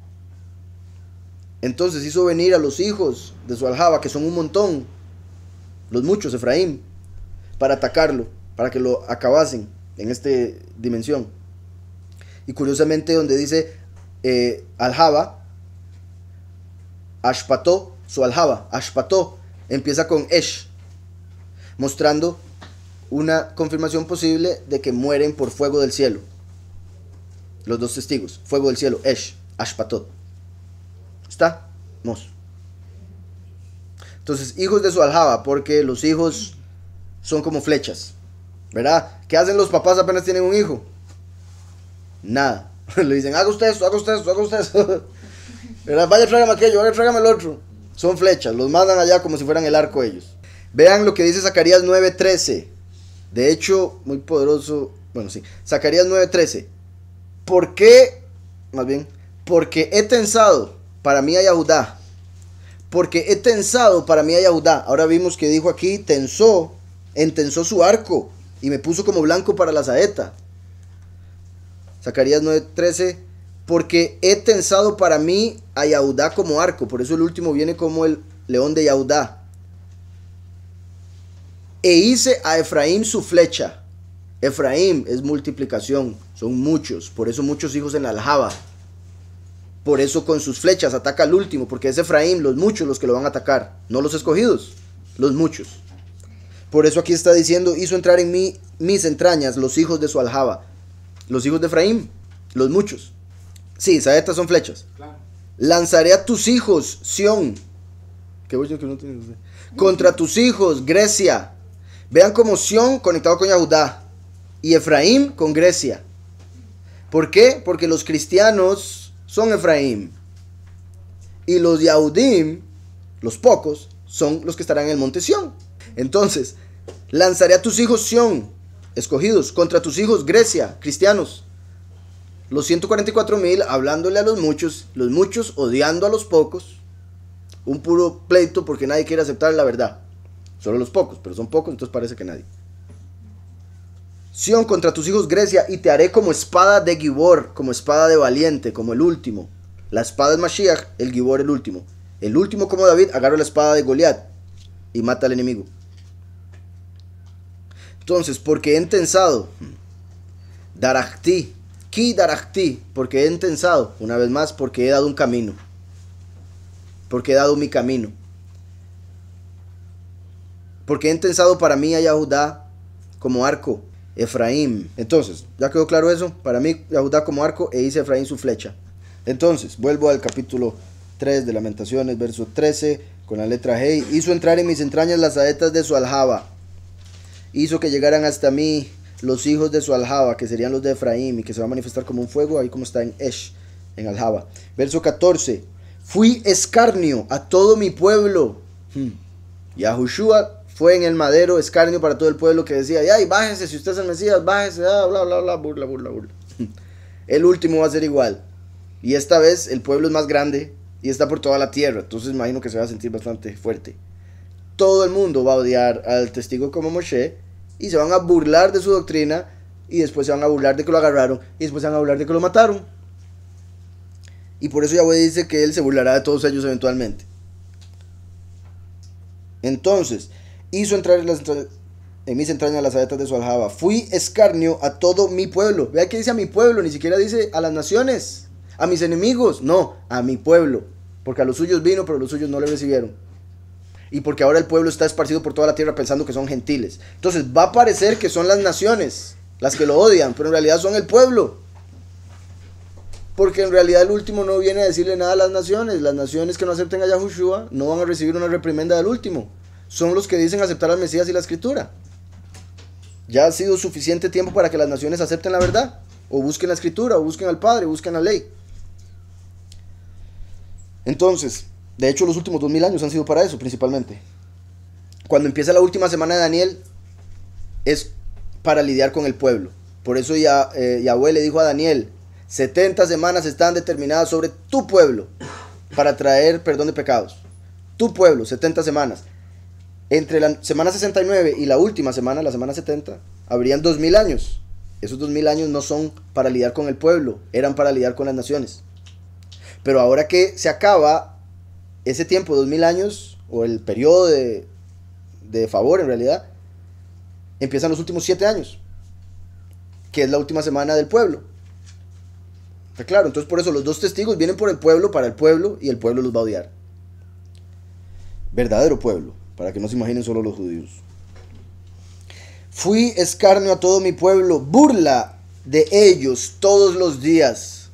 Tres años y medio, se van a burlar de la doctrina, después los meten presos diez días, los diez días no me imagino las burlas por Facebook, Twitter y todo lo demás. Y después los matan y viene la burla por eso.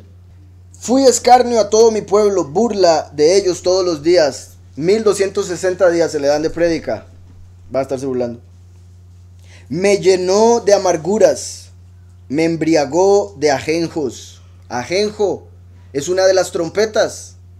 Se está hablando de la venida del último cuando se da el ajenjo para los muchos en el mundo. Me llenó de amarguras. Amargura y ajenjo está conectado.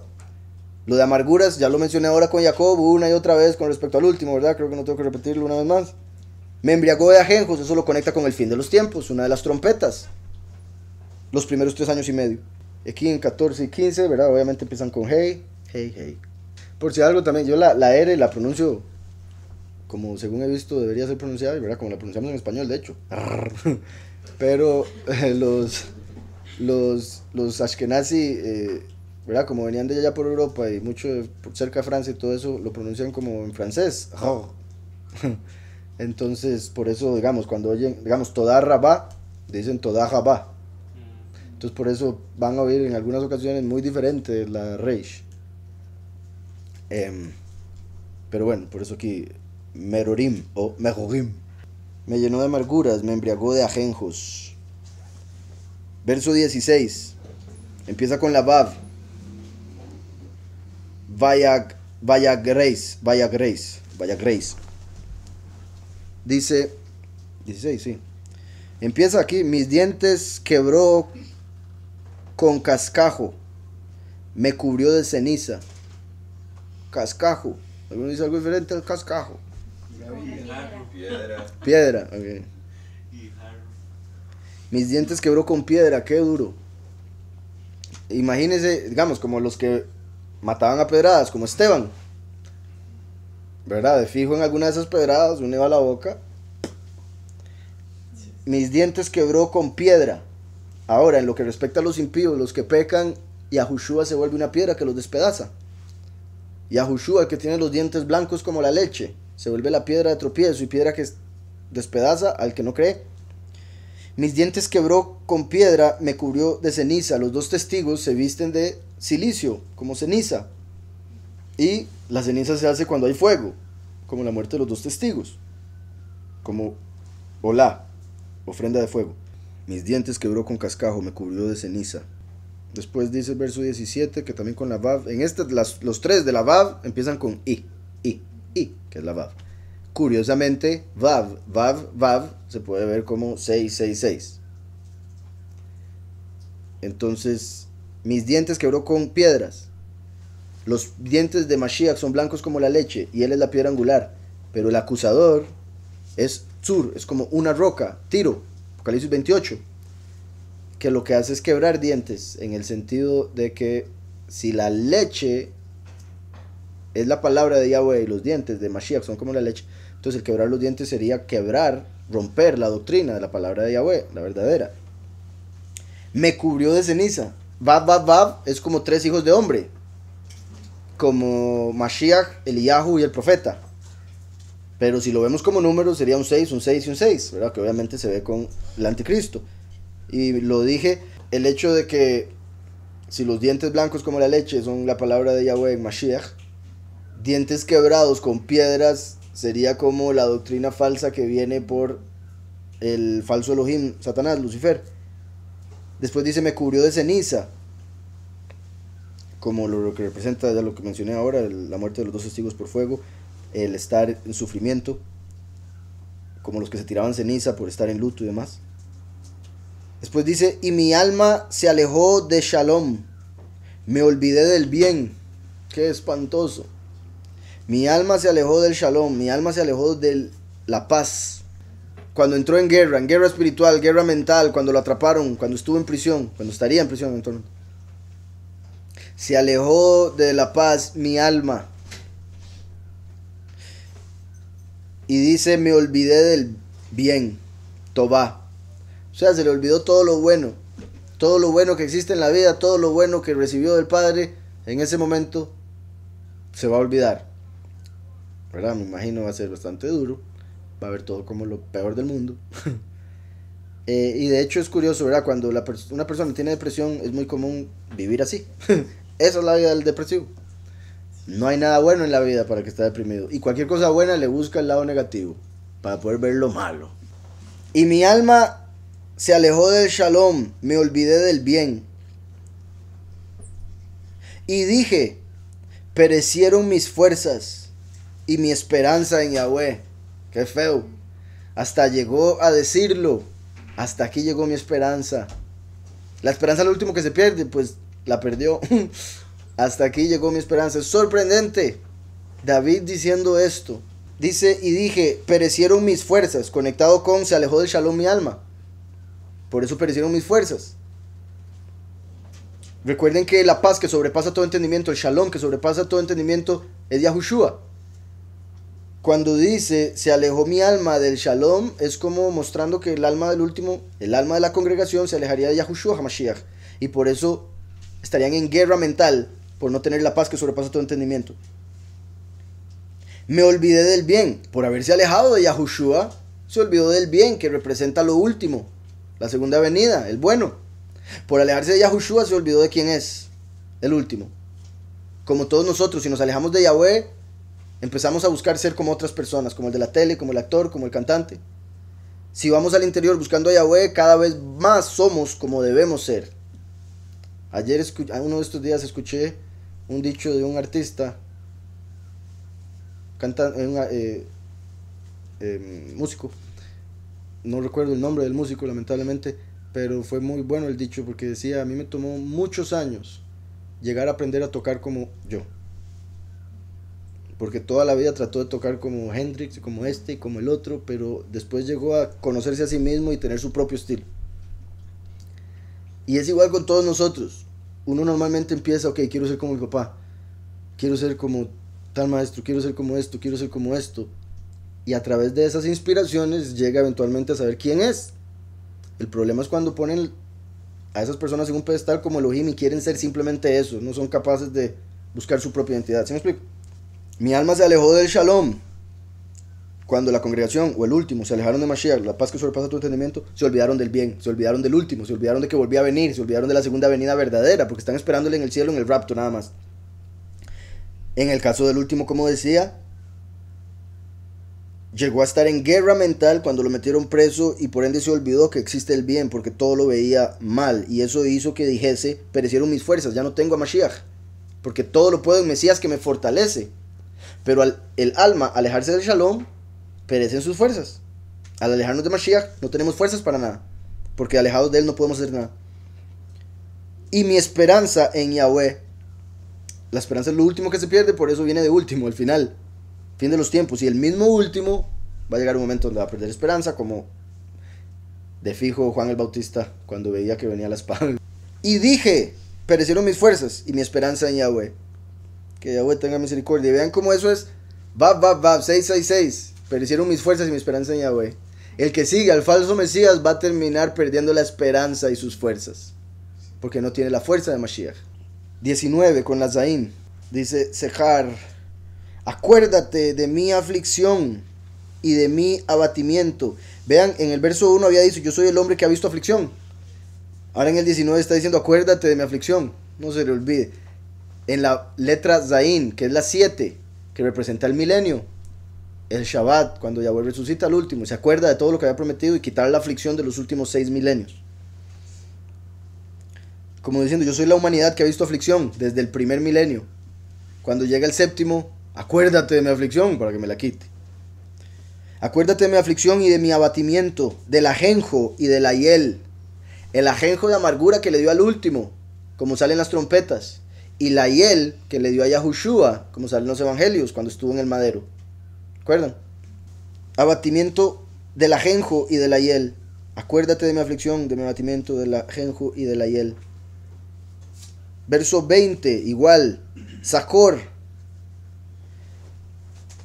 En memoria lo tendré aún, porque mi alma está abatida dentro de mí.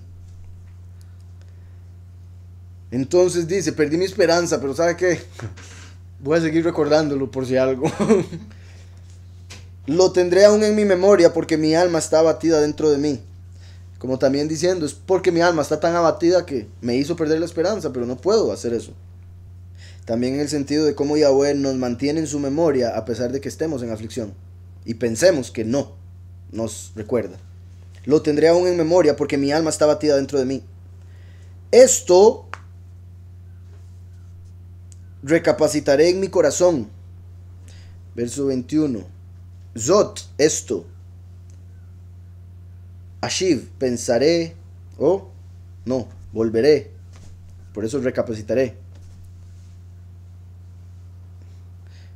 Esto haré volver a mi corazón. Como acaba de decir, perdí mi esperanza, perdí el shalom. Pero ahora dice, esto haré volver. Porque se lo mantuvo en la memoria, entonces la esperanza vuelve, las fuerzas vuelven. Como la resurrección. Vuelve la vida. Entonces esto haré volver a mi corazón por cierto, Ojil dice, esto haré... ¿Qué eso aquí? Esto recapacitaré mi corazón, por lo tanto esperaré. Sí, por lo tanto, Ojil, esperaré.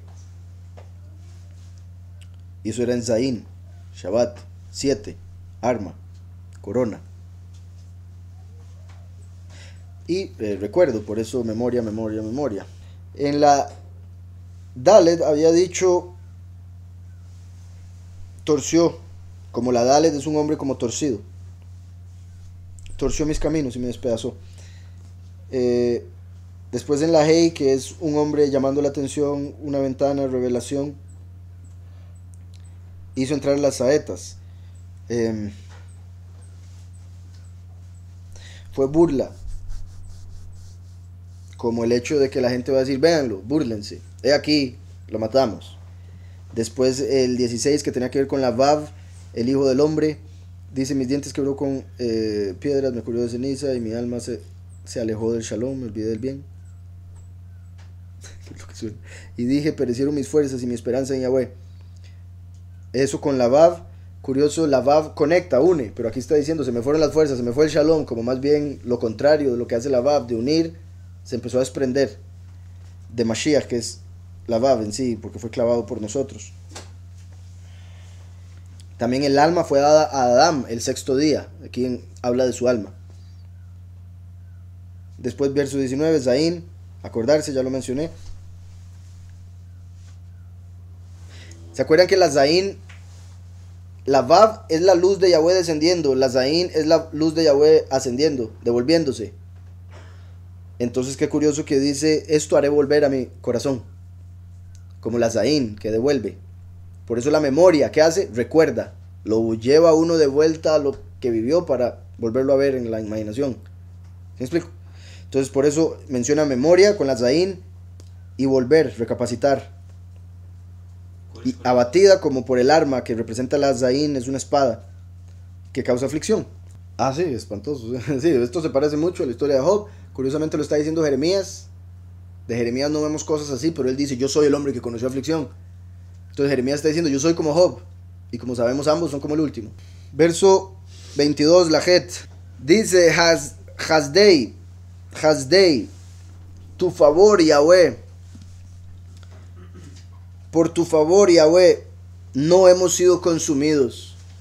Porque Yahushua es bueno y nos dio el favor hace dos mil años, no nos consumió. Porque nos dio el perdón de pecados. Vean que esta es la letra 8, Het, que ya representa la eternidad, después del milenio, representado por la Zain. Y aquí está diciendo, por tu favor no nos has consumido, como diciendo en el juicio final, no consumiste a todos, por tu favor defendiste como abogado a los justificados para entrar a la eternidad.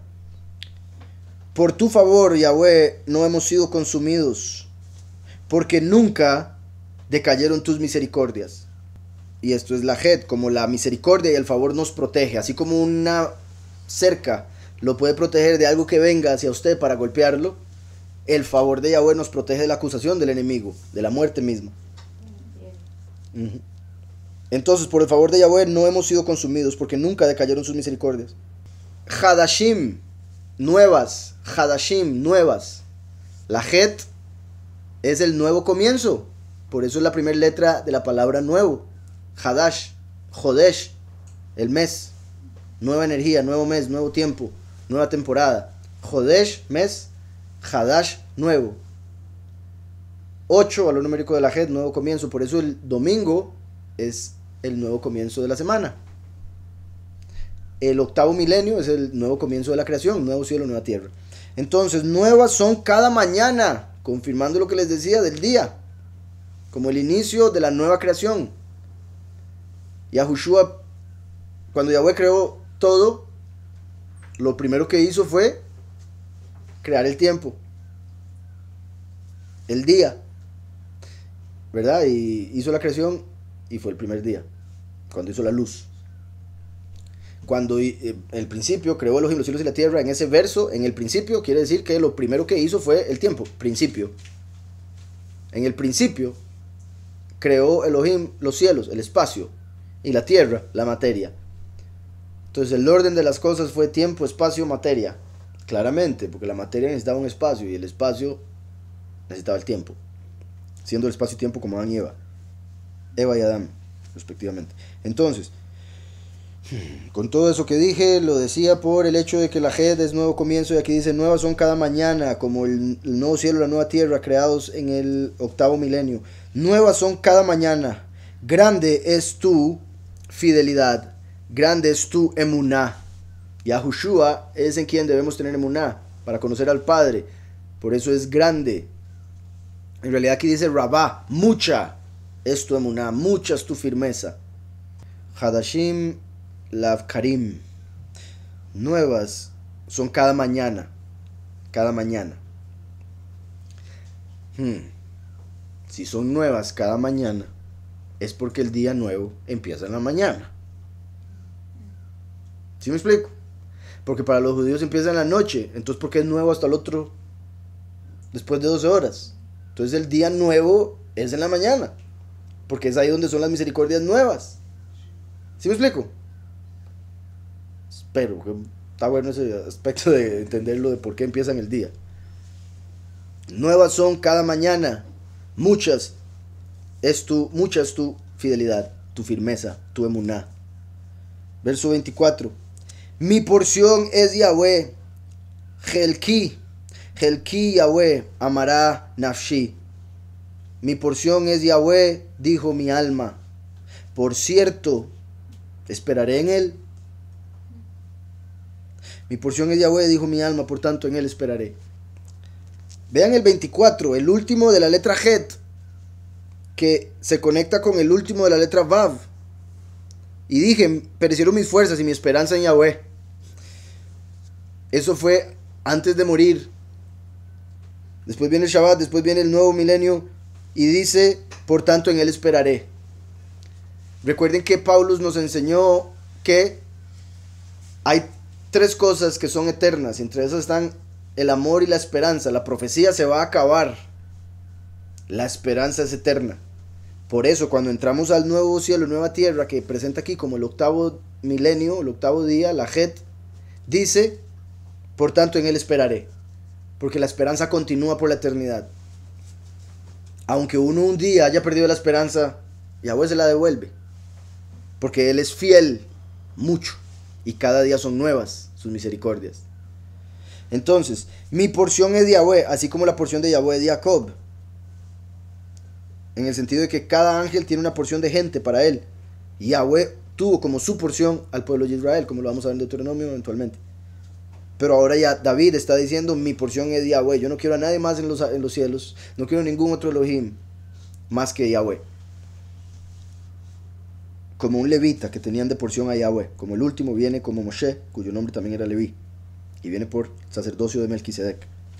Mi porción es Yahweh, dijo mi alma, por tanto en él esperaré. Cuando uno pone una cerca, está determinando la porción de una persona y la porción de otra persona. La porción pública, la porción privada. Como la cerca de Het. Entonces, verso 25 que es con la tet. La letra tet, que es la letra de Tov, que es bueno. Y así empieza el verso. De hecho, es el verso 26. 26, valor numérico de Yahweh. Y Yahushua dijo, Yahweh es Tov. Yahweh es bueno. Entonces, en el verso 26, que en este caso sí se puede hablar de que el verso está marcado porque fue el mismo Yirmiyahu el que los hizo a través del acróstico. Él fue el que escogió que el verso número 26 empezara con Tov, porque el 26 Yahweh es Tov, es bueno. Entonces dice, bueno es Yahweh. Aquí, bueno, 25, 26 y 27. En todos empieza con bueno, bueno, bueno. Tov, tov, tov. 25, 26 y 27. Bueno es Yahweh a los que en él esperan, al alma que le busca. Bueno es Yahweh para con los que le esperan para el alma que le busca. Tirshenu, eh, ah, Tidershenu, que sería de Darash, de buscar, de la segunda interpretación. Con eso me refiero a que se puede entender tan simple como aquel que busca Yahweh en la escritura. Aquel que busca Yahweh a través del estudio, yéndose un nivel más allá de lo que es la letra, ese es el que va a recibir el gozo de Yahweh, básicamente. Bueno Yahweh a los que en él esperan, el alma que le busca. Verso 26. Bueno es esperar en silencio la salvación de Yahweh. Bueno es esperar en silencio, porque él se había atrevido a decir, perecieron mis fuerzas y mi esperanza en Yahweh. Pero mejor es quedarse callado. No decirlo con la boca, porque se manifiesta más fácil. Lo que le tema, eso le vendrá. ¿Sí me explico? Entonces mejor es estar callado, esperando la salvación, sabiendo que va a venir. Entonces, ¿para qué se va a andar quejando? Es como, ¿verdad? Uno, el niño inmaduro, bueno, niño joven, niño, cuando van en carro para algún lugar, un paseo, muy común que, ¿y cuánto falta? ¿Cuánto falta? ¿Cuánto falta? ¿Cuánto falta? Porque no sabe. Entonces, el que sabe, más bien disfruta el camino, porque es necesario.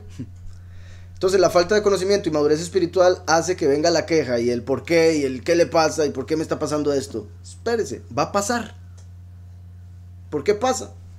Es temporal. Con solo que sea algo que esté pasando, sepa que va a terminar pasando en el pasado, etcétera. Simplemente entendieron la conexión. La TET, valor 9, como serpiente, como canasta, bondad, son los versos 25, 26 y 27 obviamente como el cordón de tres dobleces. El central es el que le da fuerza a los otros dos. Como en este caso el 26 le da fuerza al 25 y 27. O sea, Yahweh que es 26. Y el 26, valor de Yahweh, empieza con Tov y es el verso de esos tres que menciona la salvación. Confirmando que Yahweh el 26 descendería como Yahushua a la salvación de Yahweh. Para que después se manifestase el bueno. Aquí donde dice la salvación dice lit, lit shuat, lit shuat. Tov, eh, sí, esperar. Aquí sería la parte que dice Bedumam. Bedumam. Dumam sería la parte que están traduciendo como silencio. Sí, y en silencio esperar por la salvación de Yahweh. 27. Bueno le es al hombre llevar el yugo desde su juventud. Muy bueno esto, para que se le haga más fácil, para que entienda mejor. Es mucho mejor cuando a uno de niño le inculcaron la escritura que cuando llega el puro final de su vida y empieza a leer la escritura, se le va a dificultar más. Entonces, es bueno llevar el yugo desde la juventud. Es bueno decidir seguir a Yahweh desde que uno estaba joven. Como aquí la mamá. Bueno le es al hombre llevar el yugo desde su juventud. Bueno para el Geber cargar sobre él el yugo desde joven. Eh, dice el 28 que empieza con la Yud. La Yud, que es la letra que es una mano o el brazo entero. Valor numérico 10, como los 10 mandamientos. Y algunas otras cosas. Representa obra, poder, mano. Y dice, bueno, continúa el anterior. Bueno le es al hombre llevar el yugo de su juventud. Que se siente solo y calle no que se siente de sentimientos, emociones. que se siente. Como cálmese. Tome asiento. es el punto. No anda de para arriba y para abajo todo estresado por la ansiedad de cómo va a ser. No. Tome asiento, repose. Porque Yahweh trabaja más cuando uno reposa. Cuando uno está estresado, ansioso, le está poniendo bloqueo a lo que Yahweh quiere hacer. Entonces mejor reposar en Él por más que el corazón le quiera reventar de emociones. por eso es que es bueno llevar el yugo desde juventud, porque llega un momento donde se acostumbra. Exacto, ¿verdad? Yahushua dijo, llevad mi carga y mi yugo, porque mi carga es ligera y mi yugo fácil. Como les he dicho, es fácil, pero cuando uno se aleja de él se vuelve difícil. Y es, ese es el problema. Cuando uno se aleja de la paz que sobrepasa tu entendimiento y de la esperanza. Entonces, que se siente solo y calle porque es Elohim quien se lo impuso. Mm. Todo lo que pasa sucede por su voluntad. Entonces está pasando algo que es calmado. Siéntese y espérese a que pase. Porque fue Yahweh el que lo impuso. Como el mismo Yahushua que estuvo dispuesto a ir y morir por nosotros. Pasar esa burla, esos golpes y todo lo sufrimiento que pasó por nosotros. Y él dijo, Yahweh me lo impuso, tengo que hacerlo. Mostrándonos lo que es obediencia hasta la muerte que se siente solo y calle porque Elohim es quien se lo impuso, como el último solo en prisión, y en el sentido de nosotros, lo que mencioné ahora de tener shalom. Ponga su boca en el polvo. Ponga su boca en el polvo, por si aún hay esperanza. O sea, inclínese hasta el suelo, humíllese ante el Padre, porque tal vez lo salve. Por si hay esperanza. Como Job, que hizo eso en vez de lo que le dijo la esposa. La esposa que le dijo, maldiga a su Elohim y muérase. Él dijo, no, mejor me quedo calladito, voy hasta el suelo a orar porque tal vez hay esperanza. Y de hecho la hubo. Yahweh le devolvió todo y el doble. Entonces, ponga su boca en el polvo, por si aún hay esperanza. De la mejilla al que le hiere. Después de haber dicho en el 26 Yahweh su salvación, Yahushua. Ahora dice, de su mejilla al que le hiere. ¿Qué nos dijo Yahushua? Les enseño algo más elevado que la ley de justicia, la ley del favor. Si alguien le golpea en una mejilla, ponga la otra. Está usando la Torah. Bueno, en este caso, los escritos. ¿Qué se siente Dice, ponga su boca en el polvo, ya lo dije. De la mejilla al que le hiere. Como la, ya, la yad, la yud. Es una yad, es una mano. Con lo que golpean.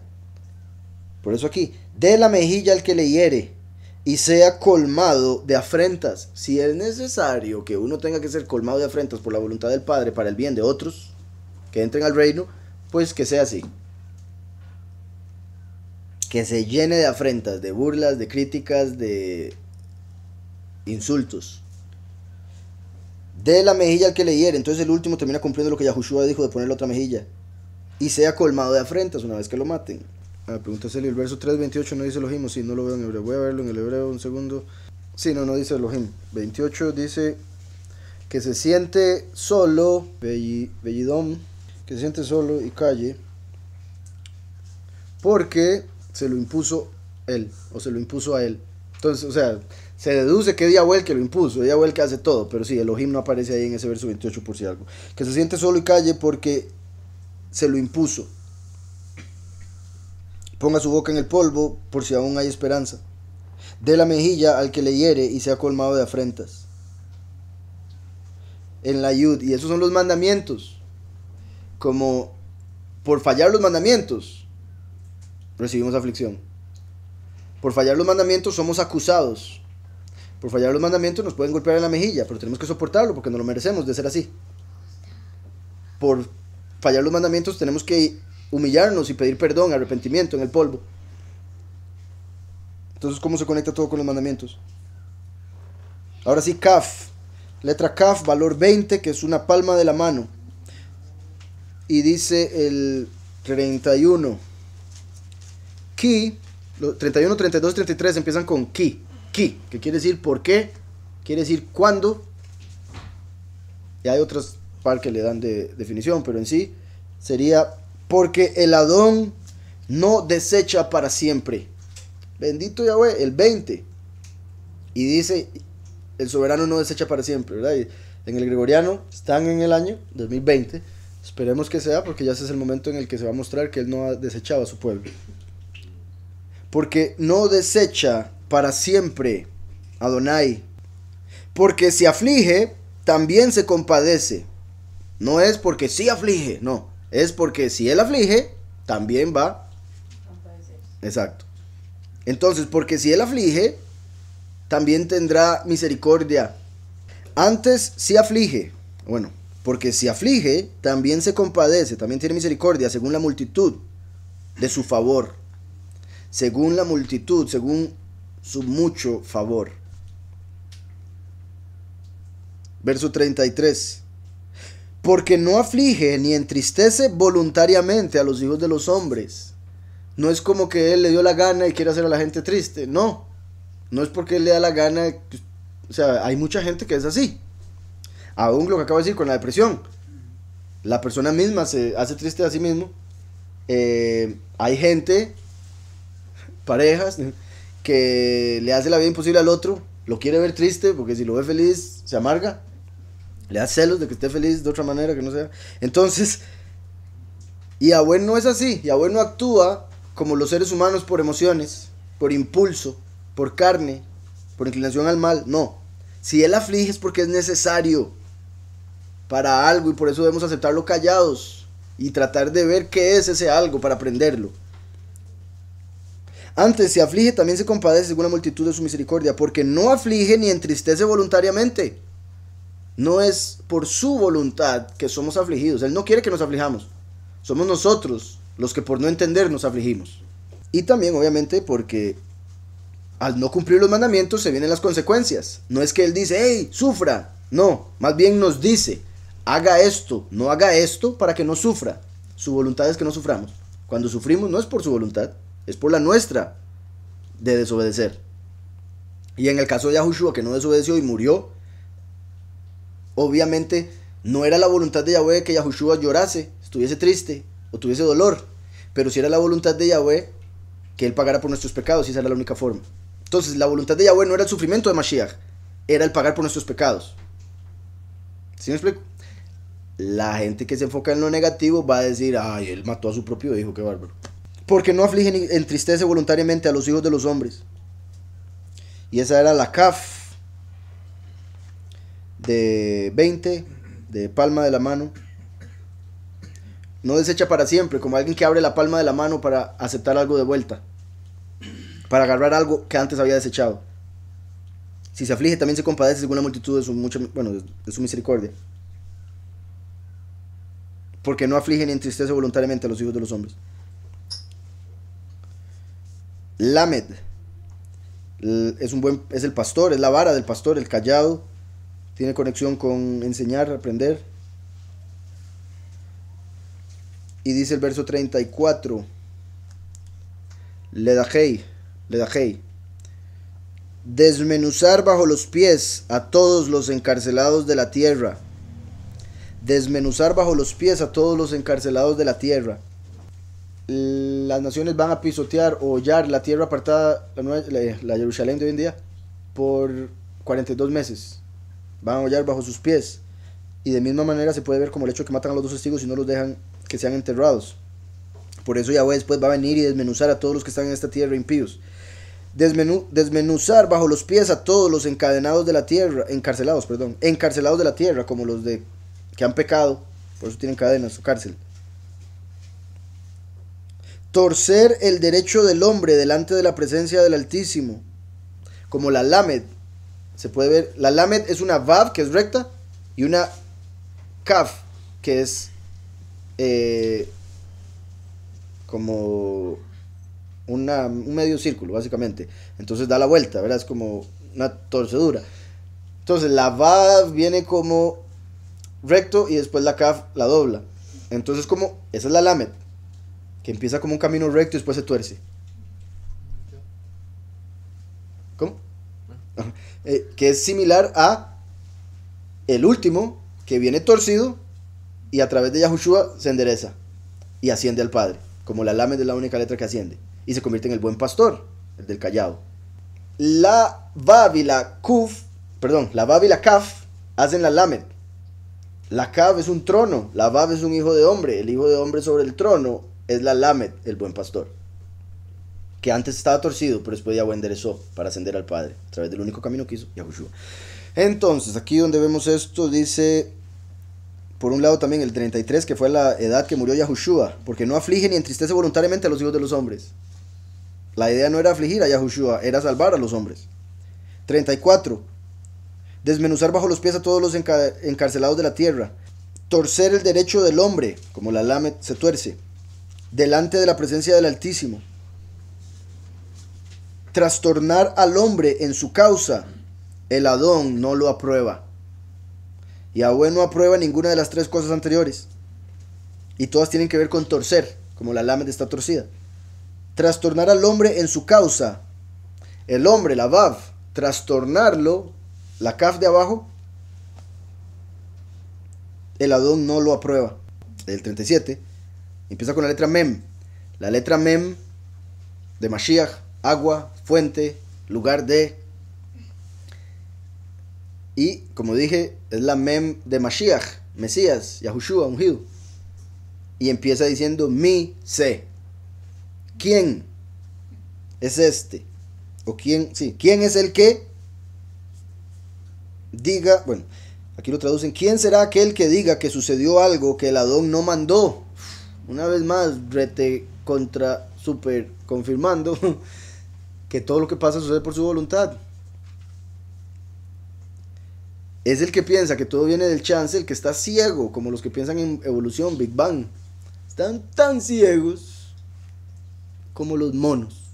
Curiosamente, cuando Yahweh destruyó la torre de Babel, una parte de ellos los hizo como monos. Es muy curioso que por la confusión de Babilonia crearían la evolución, diciendo que vienen de los monos. Entonces, ¿quién será aquel que diga que sucedió algo que el Adón no mandó? ¿Quién será el, falto de entendimiento que se atreverá a decir tal tontera la mayoría de la humanidad. Todo pasa porque Él lo mandó todo. Entonces por eso he dicho, aún el haber comido el fruto del conocimiento era parte del plan. ¿Quién puede decir que Él no lo mandó? Él nos dijo, no coma para que no muera. Porque, como dice arriba, no aflige ni entristece voluntariamente. Pero no hay nada que pase que no sea por su voluntad al final. Entonces, no es que comimos para sufrir, no, comimos para aprender. Y ese era el plan de Yahweh. No que sufriéramos, por eso nos dijo no coma. Pero él sabía que íbamos a comer, ni que fuera mal. Entonces, dice, de hecho él dijo, cuando coman, morirán. Ya lo había afirmado desde que se los dijo. Entonces dice la Mem, que es Mashiach, Recuerdan que mi en hebreo es quién, y eso hace alusión al a Mashiach primero. Ma quiere decir qué, y hace alusión al último, segunda venida Mashiach. Entonces, en este caso, ¿quién será aquel que diga que sucedió algo que el Adón no mandó? Obviamente, esta pregunta es retórica, no se refiere a Yahushua, porque Yahushua más bien es el que nos dice que todo viene del Padre. De la boca del Altísimo, ¿no sale lo malo y lo bueno? De la boca del Altísimo no sale lo malo y lo bueno. Que quede claro para que no se vea como una contradicción, porque Yahushua dijo, no puede ser posible que de una misma boca, de una misma fuente salga, salga agua dulce y agua amarga. Pero eso se refiere a palabras para hacer daño, para causar daño al propio, como el chisme, inclinación al mal, etc. Aquí está hablando de que las cosas que uno percibe como malas también vinieron por voluntad del Padre. Recuerden, Isaías en el 45 dice el verso 7, yo formo la luz y creo las tinieblas. Hago la paz y creo la adversidad. Solo yo, Yahweh, soy el que hago todo esto. Satanás no tiene ningún poder, es un siervo. Yahweh es el que hace todo, como lo acaba de decir aquí, pero no se puede ver como una contradicción, que quede claro, hay que entender todo junto. También por eso es que dice, yo formo la luz, porque ya existía, es eterna, forma algo que ya está. Y creo las tinieblas, porque no existían, hubo que crearlas. Y como fueron creadas, pueden ser destruidas, como lo van a hacer. La luz es eterna, no puede ser destruida. Como la energía, que no se puede destruir, solo se puede cambiar. ¿Estamos? Como el agua de vida, que no se sabe qué es. Maim, aguas, ¿qué son? La pregunta en hebreo plural, maim, que quiere decir aguas, pero también se puede ver como que son. Y tiene el estado sólido, vapor y eh, líquido, ¿verdad? Como las diferentes manifestaciones de la palabra, de Yahweh, etc. Entonces, ¿quién será aquel que diga que sucedió algo que Adón no lo mandó? De la boca del Altísimo no sale lo malo y lo bueno. Yahweh mismo lo dijo en Isaías. Por la voluntad de Yahweh, la palabra que Yahushua creó a Satanás, el malo. De la boca del león no sale lo malo y lo bueno. Y vean cómo menciona primero lo malo, después lo bueno. Porque lo malo es esta realidad, después viene lo bueno. Bendito Yahweh. No sale lo malo y lo bueno, este mundo y el que viene. Todo creado a través de su boca, la palabra y la voz. Verso 39. ¿Por qué se lamenta el hombre viviente? Lamentese el hombre en su pecado. ¿Por qué se lamenta el que vive? ¿Por qué se anda quejando? Que se lamente el que anda pecando. Porque le toca castigo o ira si no es hijo. ¿Se me explico? Entonces, aquí una vez más, lo que les he dicho, cuando la escritura dice que vengan con llanto y con lloro, se refiere al arrepentimiento, no dice que hay que andar llorando todo el día. Por eso dice que llore el que ha pecado, para que se arrepienta y sea sanado, y viva, y por ende se goce. Porque ¿por qué va a llorar el que está vivo? Sí, lógico. Entonces, ¿por qué se lamenta el hombre viviente? es el hombre en su pecado. 39, ¿verdad? En su pecado la mente es del hombre, en la mem, como la mem Mashiach fue el que perdonó nuestro pecado. De la boca del león no sale lo malo y lo bueno. Eso se conecta con lo que les decía. El último y el primero. Porque es que la gente tiene, algunos tienen problemas con que el último venga como hijo pródigo. Si al final todo salió de la boca de Yahweh. ¿Sí me explico? Todo el plan, aún el hecho de que tenía que fallar para poder entender lo que es fallar y que nadie tenga excusa en el juicio y le diga a Yahweh, hey, disculpe, pero es que el Mesías nunca falló, entonces él no sabe lo que es eso. Y va a salir el último y decir, pero yo sí sé, entonces al lado condenado. Estamos. Entonces, por eso eh, Yahushua dijo que tienen a Moshe para que los condene. Yahushua es el que defiende. El que condena es el último, porque pasó por lo mismo, no tienen excusa. Dice entonces, vamos a ver. De la boca del león no sale lo malo y lo bueno, último y primero se podría ver. No que el último sea malo, simplemente conoció lo que era malo.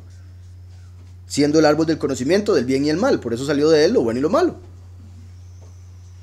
Y después habla del viviente, como el árbol de vida, Yahushua, que perdona nuestro pecado. Por eso que sufra el que está en pecado, pero que se alegre el que está vivo, porque tiene a Yahushua. Y vea cómo aparece lo bueno y lo malo primero, después el viviente.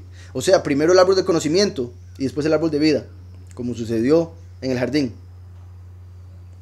Comieron el árbol del conocimiento y después Yahweh escondió el de vida, lo cual entregó en el cuarto milenio con Yahushua al morir en el madero. Y ambos aparecen en la Mem, porque recuerden que Mashiach, primero y último, árbol de vida, árbol del conocimiento.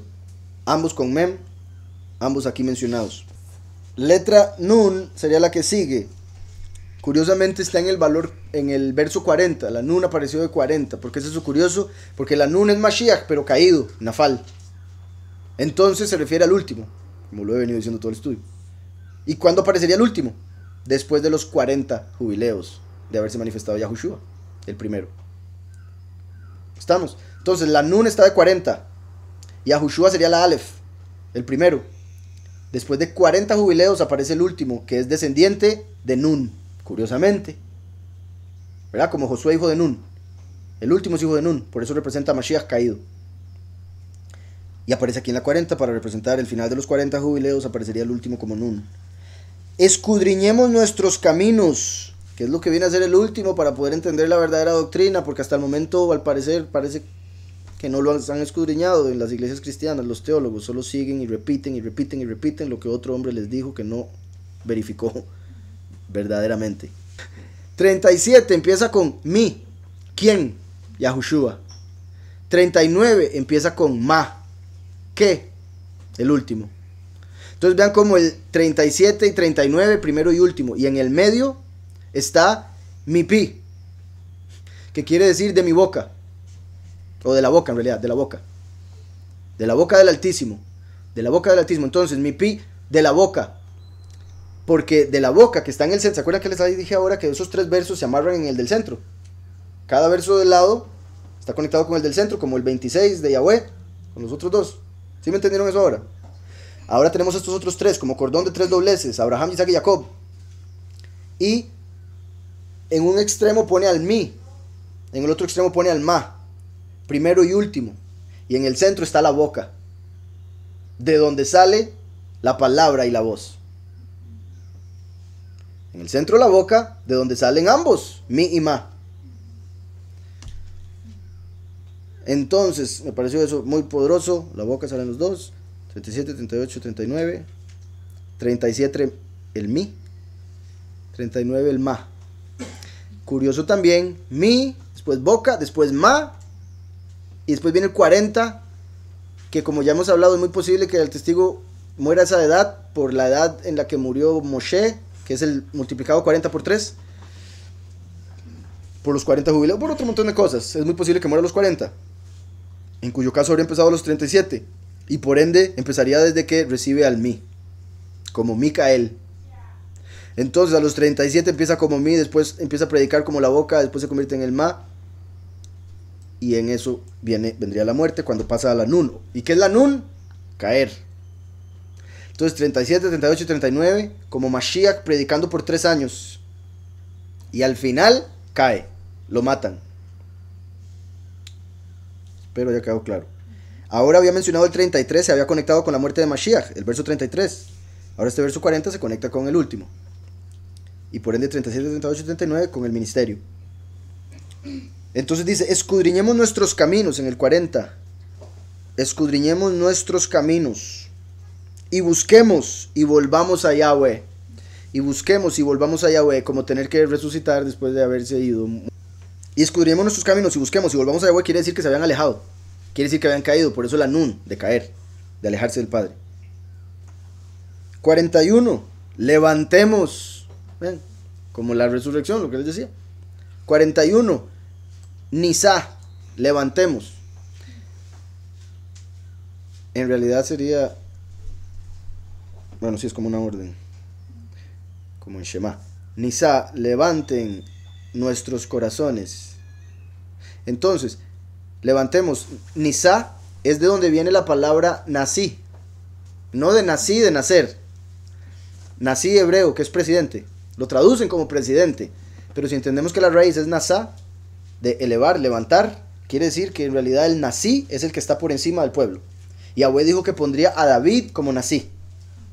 Por eso es el que cum, amad, nasá. Ya son tres palabras. Era cum, levantarse de los muertos, levantarse para predicar. Amad, levantarse para dar testimonio. Y en este caso, nasá, sobre las naciones. Se podría decir Amad conectado con los pocos, Kum con los muchos, Nisa con las naciones. Entonces dice, levantemos nuestros corazones, como la nun que era caída, y manos al poderoso en los cielos. Levantemos nuestros corazones y manos. ¿Cómo puede uno levantar el corazón? Y ya que lo pone primero, es, de una manera espiritual, a través del alma, del espíritu, de las palabras que vienen del corazón, que es el tesoro. Y del tesoro del corazón es de lo que habla la boca.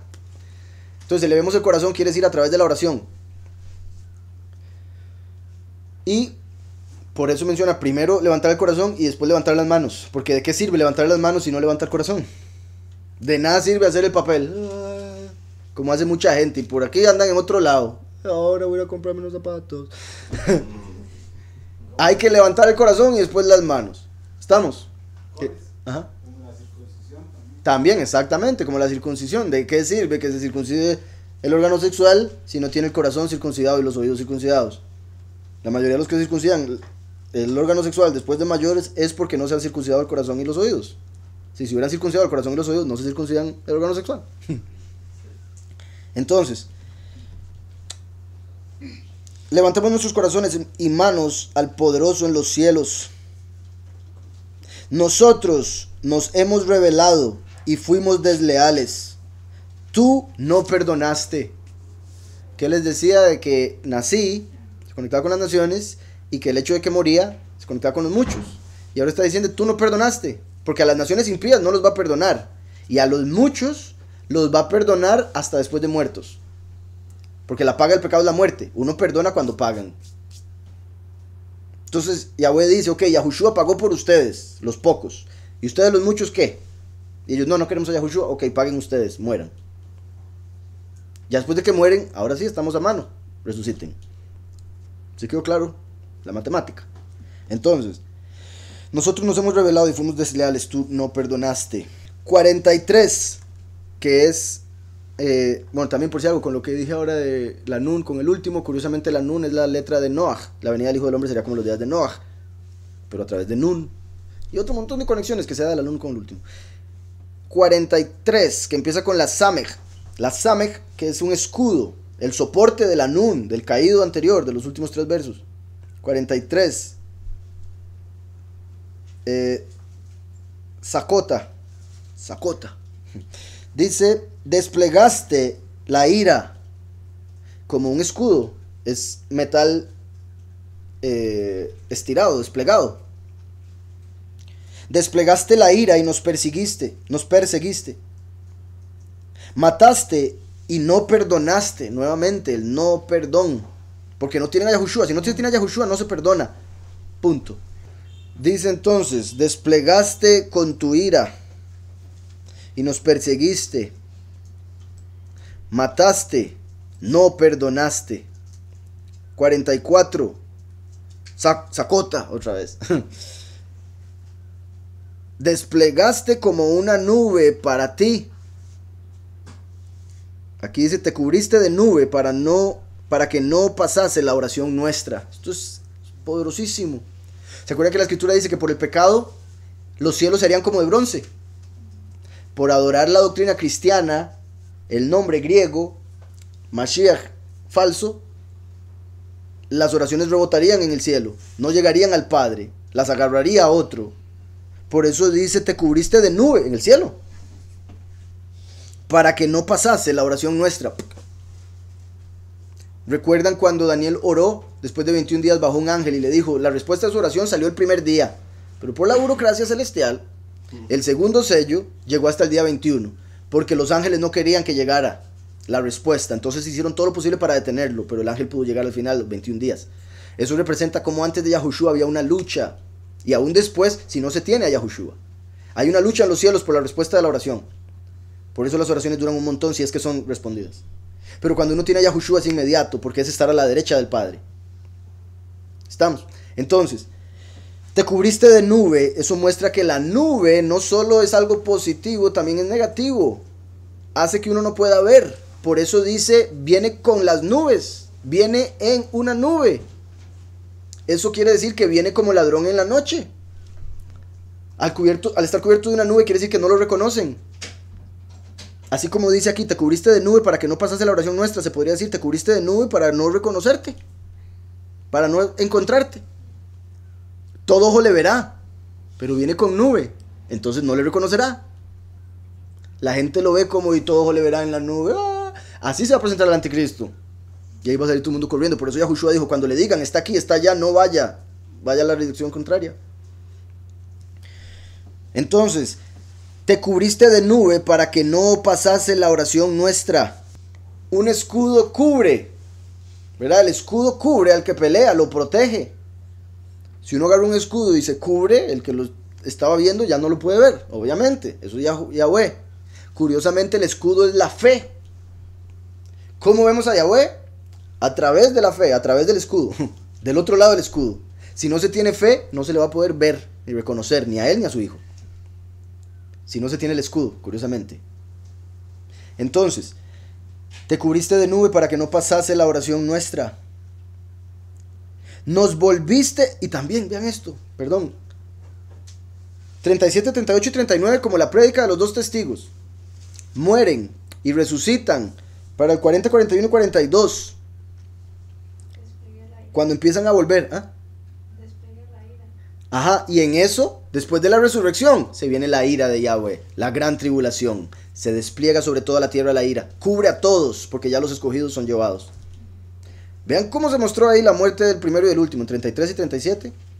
Primero y último. Levantarse de los escogidos y de los dos testigos para que se venga la ira.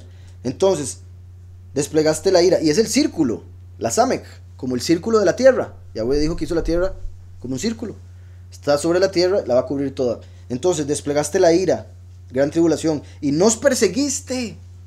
¿Qué pasa después de que matan a los dos testigos y resucitan? Aparece la abominación desoladora. ¿Y qué va a hacer? Va a mandar a sus ejércitos para perseguir a los escogidos. Por eso es que Yahushua les dijo, huyan a las montañas porque los van a ir a buscar. Y nos perseguiste. Como en el Éxodo. El faraón persiguió a Israel. ¿Está claro? Nos perseguiste. Y no perdonaste. Quiere decir que por haber matado a los dos testigos, no va a perdonar como se ve en el 42 y en el 43. Porque si rechazaron a los dos testigos, rechazaron el perdón. Recuerdan que tomó 21 días para que la respuesta a la oración de Daniel llegase y se le dijese todo lo de fin de los tiempos. Y el número 21 es el, valor numérico de la palabra Eye. Eye, Asher Eye. Eye, 21. Yo seré. Entonces, cuando la oración llegó a los días al, al 21, es como Yahweh revelándole a Daniel, yo seré. Cuando todo esto se cumpla, yo voy a aparecer y sacarlos del segundo éxodo, como en el primer éxodo, Eye ¿Estamos? Muy particular. Entonces, después dice entonces, desplegaste la ira y nos perseguiste, mataste y no perdonaste, como va a perseguir a los pocos, pero no va a poder encontrarlos, entonces va a matar a los muchos y no va a perdonar a las naciones después. Verso 44, continuando con el hecho del círculo de la tierra sobre el cual se está desplegando toda la ira porque ya los testigos se fueron. Tú cubriste de te cubriste de nube para que no pasase la oración nuestra. A partir de que matan a los dos testigos, olvídese que la oración va a llegar. Ya nadie va a responder oraciones. Te cubriste de nube para que no pasase la oración nuestra. Una vez que el último muere, en Apocalipsis 11, entran en una nube, se cubre de nube y se va. Ya no, soy, ya no se oye la oración del pueblo.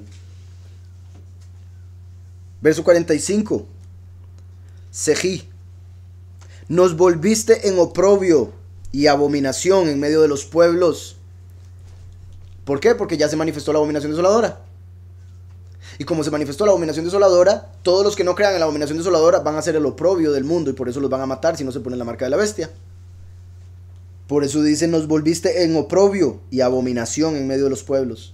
Si ahora la abominación desoladora es lo más adorado por el mundo, entonces lo que debería ser adorado se vuelve abominable. Entonces, nos volviste en oprobio y abominación en medio de los pueblos. Ahora viene la letra P. ¿Verdad? La P, valor en este caso sería 70 con lo que hemos hablado del cambio, porque normalmente viene la Ayin. En este caso, Yahoo puso la P. Y dice: Todos nuestros enemigos abrieron contra nosotros su boca. P, boca. Todos nuestros enemigos abrieron contra nosotros su boca todos los ejércitos se van a volver en contra de los escogidos y de los muchos. Temor y lazo fueron para nosotros. Asolamiento y quebranto. Abominación desoladora. Va a quebrantar el mundo entero. Y vean que está hablando de la pej, que es la boca. Temor y lazo fueron para nosotros. Como uno con la boca puede ponerle lazo a alguien. Uno con la boca puede causar mucha muerte. Temor y lazo fueron para nosotros asolamiento y quebranto. Ríos de aguas echan mis ojos por el quebrantamiento de la hija de mi pueblo. 48. Pal, Palgei Maim. Palgei Maim. Eh, ríos de aguas. Pero vean qué curioso, porque aquí el mismo Yimyahu está uniendo a Yin y Pej. Porque está usando la Pej, pero está hablando de los ojos. Y de ríos de aguas que empiezan por una fuente de agua como la Ain es una fuente de agua. Entonces vemos una vez más la relación tan directa que hay entre esas dos letras intercambiables, puesto que utiliza la Pej, pero habla del Ain. Ríos de aguas echan mis ojos por el quebrantamiento de la hija de mi pueblo. En Apocalipsis 12, al puro final, hay algo muy poderoso. Los escogidos, ¿verdad? Como sabemos, son la iglesia, la, la congregación virgen. Y a se la lleva al lugar preparado viva. Los 144 mil transformados. Cuando no puede el dragón destruir a los pocos, se va por los muchos. Ahí es donde Yahushua dijo, huyan a los montes, porque les digo que esa noche llegarán, tomarán uno y dejarán al otro. Verso 17 del 12 de Apocalipsis. Entonces el dragón, Lucifer, se llenó de ira contra la mujer, la congregación escogida, los pocos, y se fue a hacer la guerra contra el resto de la descendencia de ella. O sea, no pudo con ella, entonces se fue por sus hijos. No pudo con los pocos, se va por los muchos. Y se fue a hacer la guerra contra el resto de la descendencia de ella, como una hija es descendencia de la madre. Y aquí estamos viendo que dice, ríos de aguas echan mis ojos por el quebrantamiento de la hija de mi pueblo, la descendencia de la Virgen que va a tener que morir al inicio de la gran tribulación. Y no solo eso, ¿cómo es que los destruye el dragón? Vea cómo dice en el verso 15. Y la serpiente arrojó de su boca tras la mujer agua como un río. ¿Qué acaba de decir aquí? Ríos de agua se echan mis ojos por el quebrantamiento de la hija de mi pueblo. ¿Sí vieron la conexión? Los ríos de agua en el quebrantamiento de la descendencia de la Virgen. Arrojó de su boca tras la mujer agua como un río para que fuera arrastrada por el río. Entonces 48 ríos de agua se echan mis ojos por el quebrantamiento de mi hija, de la hija de mi pueblo. También es interesante, habla de ojos en la letra P. ¿Por qué es que los muchos van a tener que morir? Porque pusieron el ojo en los ídolos, en vez de confesar con su boca a Mashiach y a Joshua como soberano me explico? En la P hace alusión a los ojos. Porque los que van a tener que ser quebrantados se dejaron llevar por la vista en vez de por la fe. No confesaron con su boca el nombre. Por eso en la boca menciona a los muchos que no la usaron. Para bien. Ahora viene el 49, que es la Ain. Ojo. Fuente. 49. Eini. Mis ojos destilan y no cesan, porque no hay alivio en la gran tribulación, ya no va a haber alivio. Mis ojos destilan y no cesan porque no hay alivio. Hasta que Yahweh mire y vea desde los cielos, o sea, hasta el fin de los últimos tres años y medio, hasta el fin de las plagas postreras. Hasta que Yahweh mire y vea desde los cielos. Ese es el verso 50, como el jubileo. En el jubileo ya va a ver a los suyos y los va a recoger. Aquí dice, hasta que Yahweh mire. 50. Empieza con ad, hasta. Ahí, hasta. Pero se puede decir ed, testigo. Entonces sería el testigo que Yahweh usará para mirar en la tierra. O a través del testigo Yahweh mirará la tierra. Hasta que Yahweh mire y vea desde los cielos. Y si es si lo conectamos con el testigo, quiere decir que ya para ese momento el testigo estaría en los cielos, lo cual ya lo hablamos. Sucedió en los versos 40 y 40. Entonces, para este momento ya estaría en los cielos el testigo, y por eso desde los cielos vería a la tierra. Y es cuando viene a pelear en la guerra de Armagedón, al puro final de los últimos siete años. Entonces, hasta que Yahweh mire y vea desde los cielos.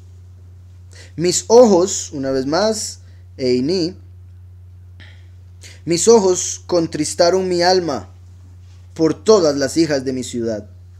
Las hijas, la descendencia, los muchos, conectados con los ojos, que si lo vemos como el valor 70, son los que se encuentran entre las 70 naciones. Se dejan llevar por la vista en vez de por la fe y por eso se han engañado con el ídolo, la imagen que les crearon del falso Mesías. Hasta que Yahweh mire y vea desde los cielos. Mis ojos contristaron mi alma. Por lo que vieron mis ojos, mi alma tuvo que pasar sufrimiento y tristeza. Por los ídolos que dejé entrar por mis ojos, pasé tristeza. Mis ojos contristaron mi alma por todas las hijas de mi ciudad. También curiosamente los ojos son los siete espíritus que van por toda la tierra. Y va a haber juicio también a través de esos espíritus. Como mis ojos contristaron mi alma. Esos espíritus me hicieron triste porque destruyeron la obra de mis manos, por decirlo de alguna manera. Sade, que es valor numérico 90, en verso 52. Casi lo que iba a decir, ese es el enemigo de Superman. no es que sea eh, para nada eh, fan ni nada de, Superman, pero cuando lo leí me acordé inmediatamente que así se llama el enemigo de Superman, Sod. Y aquí dice mis enemigos. Curiosamente, ¿cómo se llamaba eh, Superman originalmente? ya se me olvidó. Kael. Kael. Kael, que quiere decir todopoderoso. Kal El, es Kal El. Kal todo, el poderoso. Entonces Superman representa al todopoderoso. Por eso era hijo de Yorel, el poderoso que desciende. Su enemigo Sot, enemigo. Vino guardado en una canasta como Moshe. Entonces en realidad Superman fue basado en Moshe, por si algo. Em, curiosamente, hace poquito me soñé, de hecho, con uno de los Supermanes de las películas. Eh, entonces, dice el 52, mis enemigos me dieron casa como a ave, sin haber por qué. Como ave. La congregación escogida en el Éxodo se le dan las alas de la gran águila para que vuele a su lugar apartado. Entonces, mis enemigos me dieron casa como ave.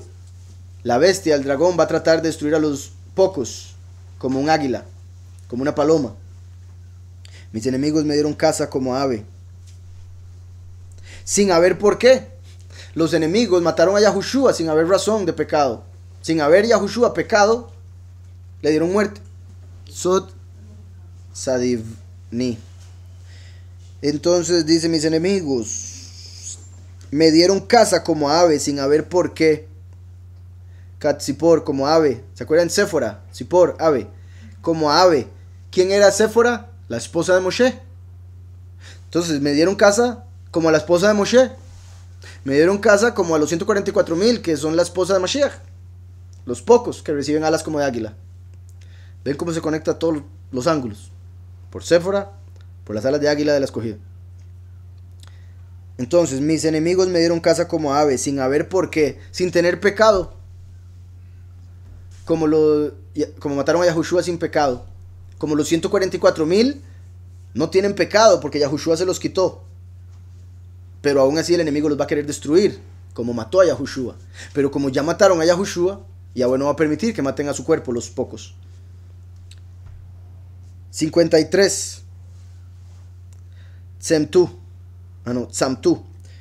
Ataron mi vida en cisterna. Ataron mi vida en cisterna.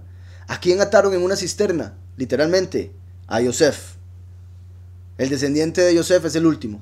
Cuando lo meten preso por 10 días. Pues lo matan y cae en la cisterna sin agua que es el Seol. Igual Yahushua, obviamente, porque el que metieran a Yosef en esa cisterna representaba que Yahushua sería rechazado por sus hermanos y lo matarían. Entonces ambos, Yahushua primero y último. Ataron mi vida en cisterna. Pusieron piedra sobre mí. ¿verdad? Porque es un hueco como un pozo sin agua. Un pozo sin agua es una cisterna. Y pusieron una tapa para que no pudiera salir. Eso es el Seol. Quiere decir, me mataron, pero resucita. Los, muchos murieron, pero ya vuelve resucita. Y a esto se, esto se lo hicieron a Yosef. Ataron mi vida en cisterna, pusieron piedra sobre mí. Eh, la piedra que pusieron sobre él es Eben piedra. ¿Me ven?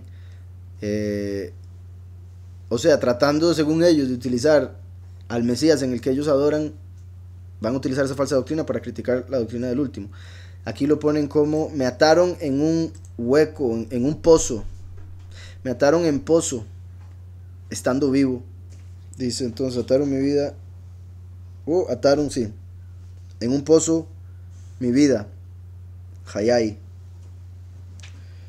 Pusieron piedras sobre mí. Eso pusieron es con las manos, como con sus manos pusieron una piedra contra mí. La doctrina que siguen en contra del último. Con eso lo van a tratar de tapar su boca y por eso lo van a matar. 54. Zafú, Maim, Zafú, Maim. Cubrieron aguas mi cabeza. Zafú, Maim, al Roshi. Cubrieron aguas sobre mi cabeza. Como Jonás, que dijo algo similar cuando lo tiraron al agua. Y eso representaba morir como fue representado por Yahushua cuando fue inmerso en el Yardén y el agua cubrió su cabeza porque él tendría que morir e ir al Seol. Entonces representa igualmente al primero y al último y a los muchos, los que experimentan muerte y después resucitan. Cubrieron con agua sobre mi cabeza y yo dije, ahí es donde decía yo dije. Dice entonces, aguas cubrieron mi cabeza, yo dije, muerto soy. En realidad dice, yo dije, asesinado soy. Me asesinaron. No es una muerte común, obviamente es a la fuerza, el sacrificio con el, por el que va a pasar. Y ese era el Sadé. Es a través de ese sacrificio que se vuelve el justo, el Sadik. Sadé es un camino que se divide en dos. O se puede ver dos caminos que se hacen uno. Primero y último, se hacen uno en Yahweh después de la muerte y resurrección. Kuf, eh, eh, valor 100, aparece en el verso 55. Kuf hace alusión al fin de los tiempos, eh, el atardecer, un mono, el cielo, la entrada, algo que desciende. Y dice el 55, Karati Shimha Yahweh, llamé, invoqué tu nombre, Yahweh, invoqué tu nombre. cuando Cuando estaba en la cisterna sin agua. Como el último que muere va al Seol, invoca y Yahweh lo saca. Como los muchos que van a morir por no invocarlo. Y una vez que mueran van a entender por qué murieron. Entonces lo van a invocar. Invoqué tu nombre, oh Yahweh, desde mi cárcel profunda. En realidad dice desde el pozo profundo. Desde el pozo de abajo. O sea, del Seol. Desde el Seol te invoqué. Invoqué tu nombre. Como acabo de decir, los muchos ya finalmente lo van a hacer en el Seol. Jonás hizo algo similar y Jonás representa el primero y el último.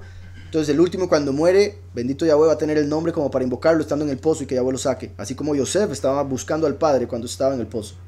Y vean que es la Kuf, que desciende, como descendió al pozo. ¿Cuándo? En el fin de los tiempos, como la Kuf. Entonces en el fin, Kuf, desciende al pozo, Kuf, para que puedan entrar al cielo, Kuf. Kuf, Kuf, Kuf. Entonces, Karati Shimcha Yahweh, Mibor, Taj Que está debajo. Entonces, dice el verso 56, oíste mi voz, colí, mi voz oíste, colí shamatá, colí shamatá, mi voz oíste, y el último es la voz, que ya lo mencioné mucho aquí, entonces quiere decir, el último como la voz llega al Seol, invoca el nombre de Yahweh, Yahweh lo oye y por eso lo resucita. Mi voz oíste. No escondas tu oído al clamor de mis suspiros. Suspiros. Recuerden que los suspiros no tienen significado para nosotros en español, inglés o lo que sea, el idioma, pero para Yahweh en el espíritu sí. Nosotros oramos al Padre con, bueno, el espíritu ora a través de nosotros con suspiros indecibles, quejidos a veces. Entonces, em, mi voz escuchaste, no escondas tu oído al clamor de mis suspiros, como estando en el Seol, todos van a esperar ser resucitados por haber creído. 57. Te acercaste el día que te invoqué, como diciendo, descendiste como la Kuf, el día que te llamé. O sea, no descendió, no escuchó cuando no lo llamaban. Si no lo llaman, ¿para qué va a venir? Si no lo invocan, ¿cómo va a escuchar? Entonces dice, te invoqué y me escuchaste. Invoqué tu nombre. Ahora dice, te acercaste el día que te invoqué. Y en hebreo, karaftá, es te acercaste. Karaftá. Te acercaste en el día que te invoqué. Te acercaste en el día que te llamé. Dijiste, no temas, Amartá, al tirá. No temas, al tirá. Te acercaste el día que te invoqué, dijiste, no temas. Qué perfecto. Estar en el sol. ¿Se imagina estar en el, haber llegado al sol y pues, el susto que puede tener la persona que no la haya conocido y que diga, bueno, habían dicho que era Yahweh, Yahweh, y de repente, no tema. la salvación que puede ser estar ahí tan cerca del fuego y que Yahweh le diga, tranquilo que aquí ando con usted. Te acercaste en el día que te invoqué, dijiste, no temas. Verso 58, que es el valor numérico 58 de gen, favor. Pero en este caso empieza con la letra Reish, que es de valor 200, cabeza, Rosh. Lo primero, Reshit, principio. Entonces, 58, Rab, Rabta Adonai. Rabta Adonai. Abogaste, Adón. Adonai. Abogaste, soberanos. O sea, me defendiste, Yahushua. Y dice Adonai, se podría decir, me defendiste, Yahweh, a través de Yahushua. Adonai. Y vean, el 58 dije, es favor. Como cuando Yahushua vino a dejarnos el favor, porque Él es el abogado, nos defiende. En el 58 dice, abogaste. Me diste el favor, me defendiste. ¿Quién? La cabeza de la congregación, la Rosh. Por eso, Reish, 58, abogaste. Abogaste, Adón, la causa de mi alma, redimiste mi vida, de mi alma, no de mi cuerpo. O sea, quiere decir resurrección, justificación después de la muerte. Me escuchaste porque te invoqué por nombre estando en el Seol, entonces descendiste y me sacaste.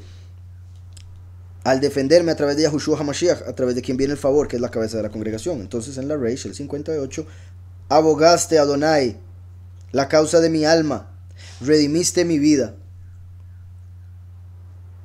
Galta Jaya, Galta Jaya, Gaal de Goel, el redentor, como Moshe. Jaya, el cuarto nivel del alma para recibir justificación, vida eterna.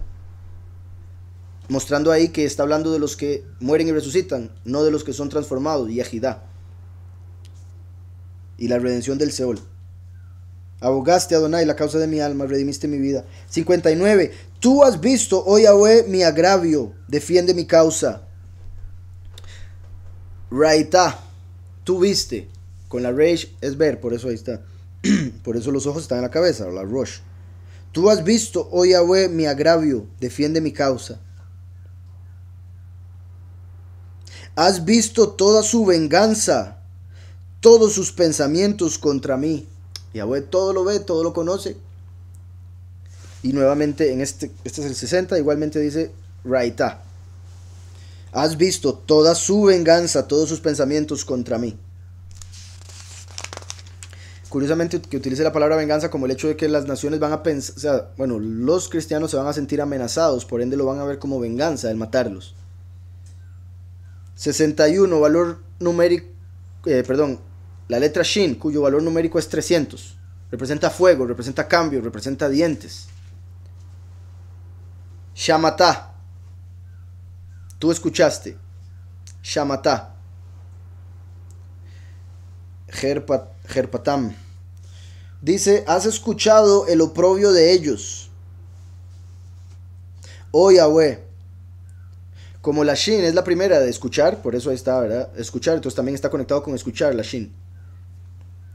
Has escuchado el oprobio de ellos, oh Yahweh, todas sus maquinaciones contra mí, todos sus pensamientos en contra mía. Verso 62. Los dichos, ¿verdad? Que salen a través de los dientes, y en hebreo sería siftei, en realidad se refiere de los labios. Siftei. ¿Cómo lo dice? Los labios de los que se levantan. Los labios de los que se levantan, sí. Siftei Kamai. De Kum, ¿verdad? Entonces, los labios de los que se levantan contra mí. Los labios de los que se levantaron contra mí y su designio contra mí todo el día. Todo el día pasan en contra pensando de cómo van a matar a los dos testigos, hacer el mal a los que creen en el nombre de Yahushua. Todo el día lo pasan pensando, no pueden tener shalom. Los dichos de los que contra mí se levantaron y su designio contra mí todo el día. En la Shin, el fuego con el que lo van a matar. Pasan pensando cómo lo vamos a matar, porque recuerden que los van a tratar de matar por tres años y medio y no van a poder. Por eso pasan todo el día pensando, ¿cómo hacemos? ¿Cómo hacemos? ¿Cómo hacemos?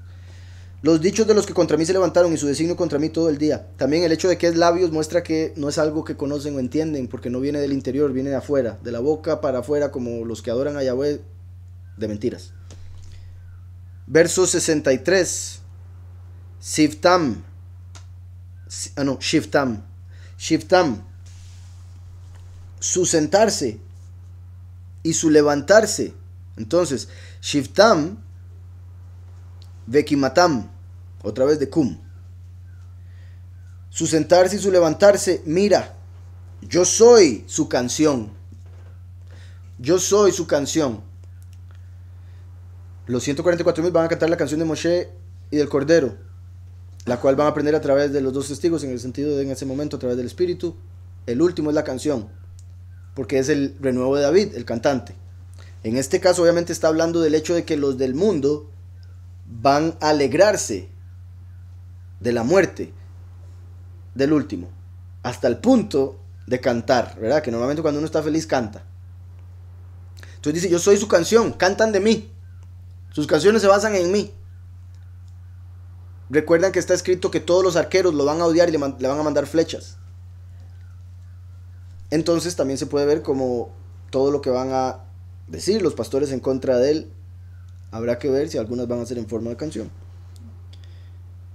Dice, su sentarse y su levantarse, mira, yo soy su canción. Ani Manginatam. Verso 64, letra Tav.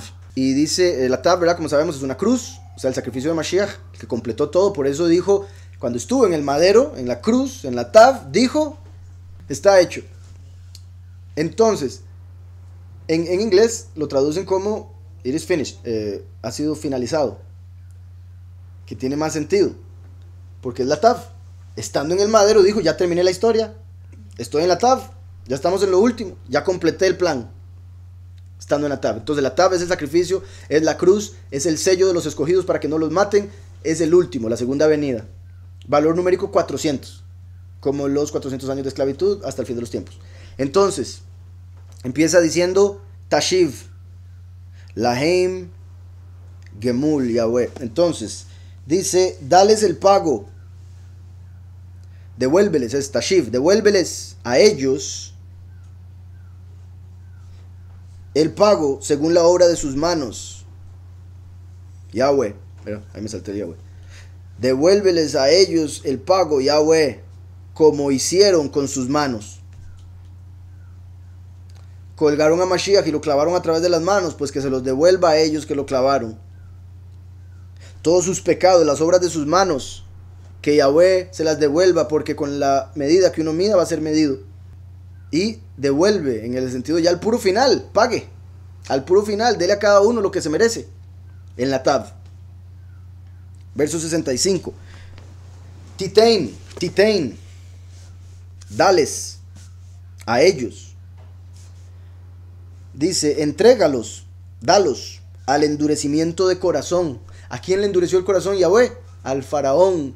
Entonces está diciendo, hágales como a los egipcios.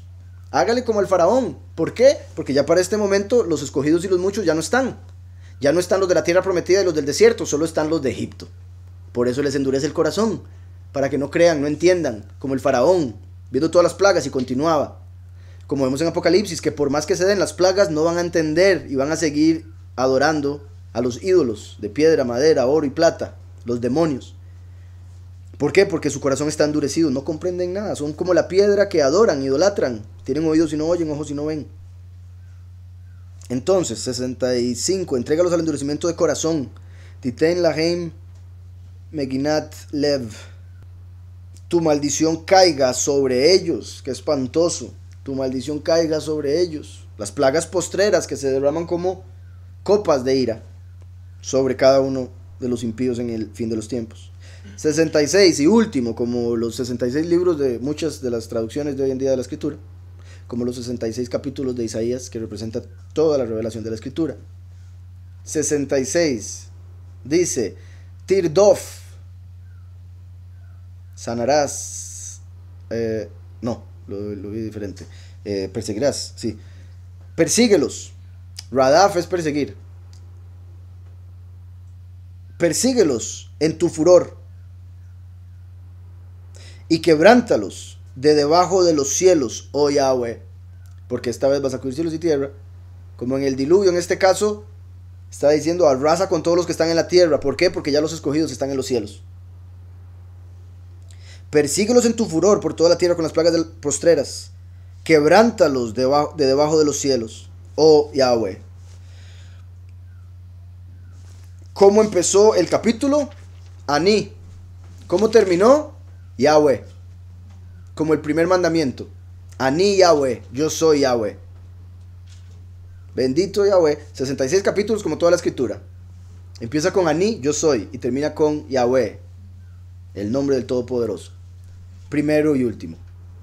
O último y primero como lo quieran ver. Persíguelos en tu furor y quebrántalos de debajo de los Shamaim, oh Yahweh. Aní Yahweh. Aparte de esas tres de levantar, en hebreo hay otras para levantar. Eh, que yo recuerde ahorita no. Ahora, ah sí, al, eh, Yalá. Como alzar. Nací, levantar. Kum, levantarse. Amad, ponerse de pie. Para que entiendan la forma en que se pueden ver. Dice, Amad tiene Ed y Mem en el centro. Amad Sí, Amad se puede ver como el testigo con Mashiach en el medio. Ed con la mem en el medio. Amad. Micael Amad, dice Daniel 12.1. Entonces, Micael se va a levantar como el testigo, Ed, que tiene a Mashiach en su interior. Dice Mazul, desplegaste, estaría relacionado como con rollo que se abre. Sí, se puede relacionar cuando despliega, como él desplegó los cielos. Como un rollo que se abre en el sexto sello vemos que el cielo se va a replegar como un rollo. Entonces eh, se conecta con esto también. Desplegaste tu ira como un libro, como un rollo, como un pergamino. ¿Por qué? Porque en el pergamino está escrito cómo se va a cumplir su ira, su enojo. También como Yahweh desplegó los cielos como metal, va a desplegar la ira sobre las naciones que son como metales, oro, Babilonia, ¿verdad? Roma, hierro, Grecia, bronce. Cores, yo escuché muchas veces que vendría en una nube, no oculto, como una nube. Toda por la aclaración. Con mucho gusto, Jessica. Ahora, como ya les he dicho, eventualmente, ya en la cosecha, pero eso ya es muy tarde, aparece en una nube. Habrá que ver cómo se va a ver eso, porque ya sería una manera un poco más literal. Pero la forma espiritual de entender que se manifiesta en nube, con una nube, es cubierto, como lo acabamos de leer en el mismo capítulo de Lamentaciones. En esa serie Mesaya aparece en medio de un tornado y dicen viene con las nubes. Así es. Eh, curiosamente, ¿verdad? Como un tornado. De hecho, ahora que lo menciona, me acordé. Es muy curioso porque eso sí me pareció muy poderoso. Eso que dijeron en la serie. Vieras, dijeron no sé como cuántos versos seguidos de la escritura, de la segunda venida, que todo el mundo tiene que escuchar por más que sea en Netflix. Viene con las nubes, todo ojo le verá. Y estaban hablando, la imagen en que lo pusieron fue de un torbellino que se vino. Pero en el centro, en el ojo del torbellino estaba él protegiendo a una gente. Entonces eso lo usaban como para decir, el que esté cerca de él va a estar protegido. La destrucción va a ser alrededor de ellos, como el torbellino. Siendo el ojo lo que, eh, lo que mantendría protegido. ¿Sí me explico? El ojo del huracán. Bueno, del torbellino. Entonces, sí, eh, curioso eso.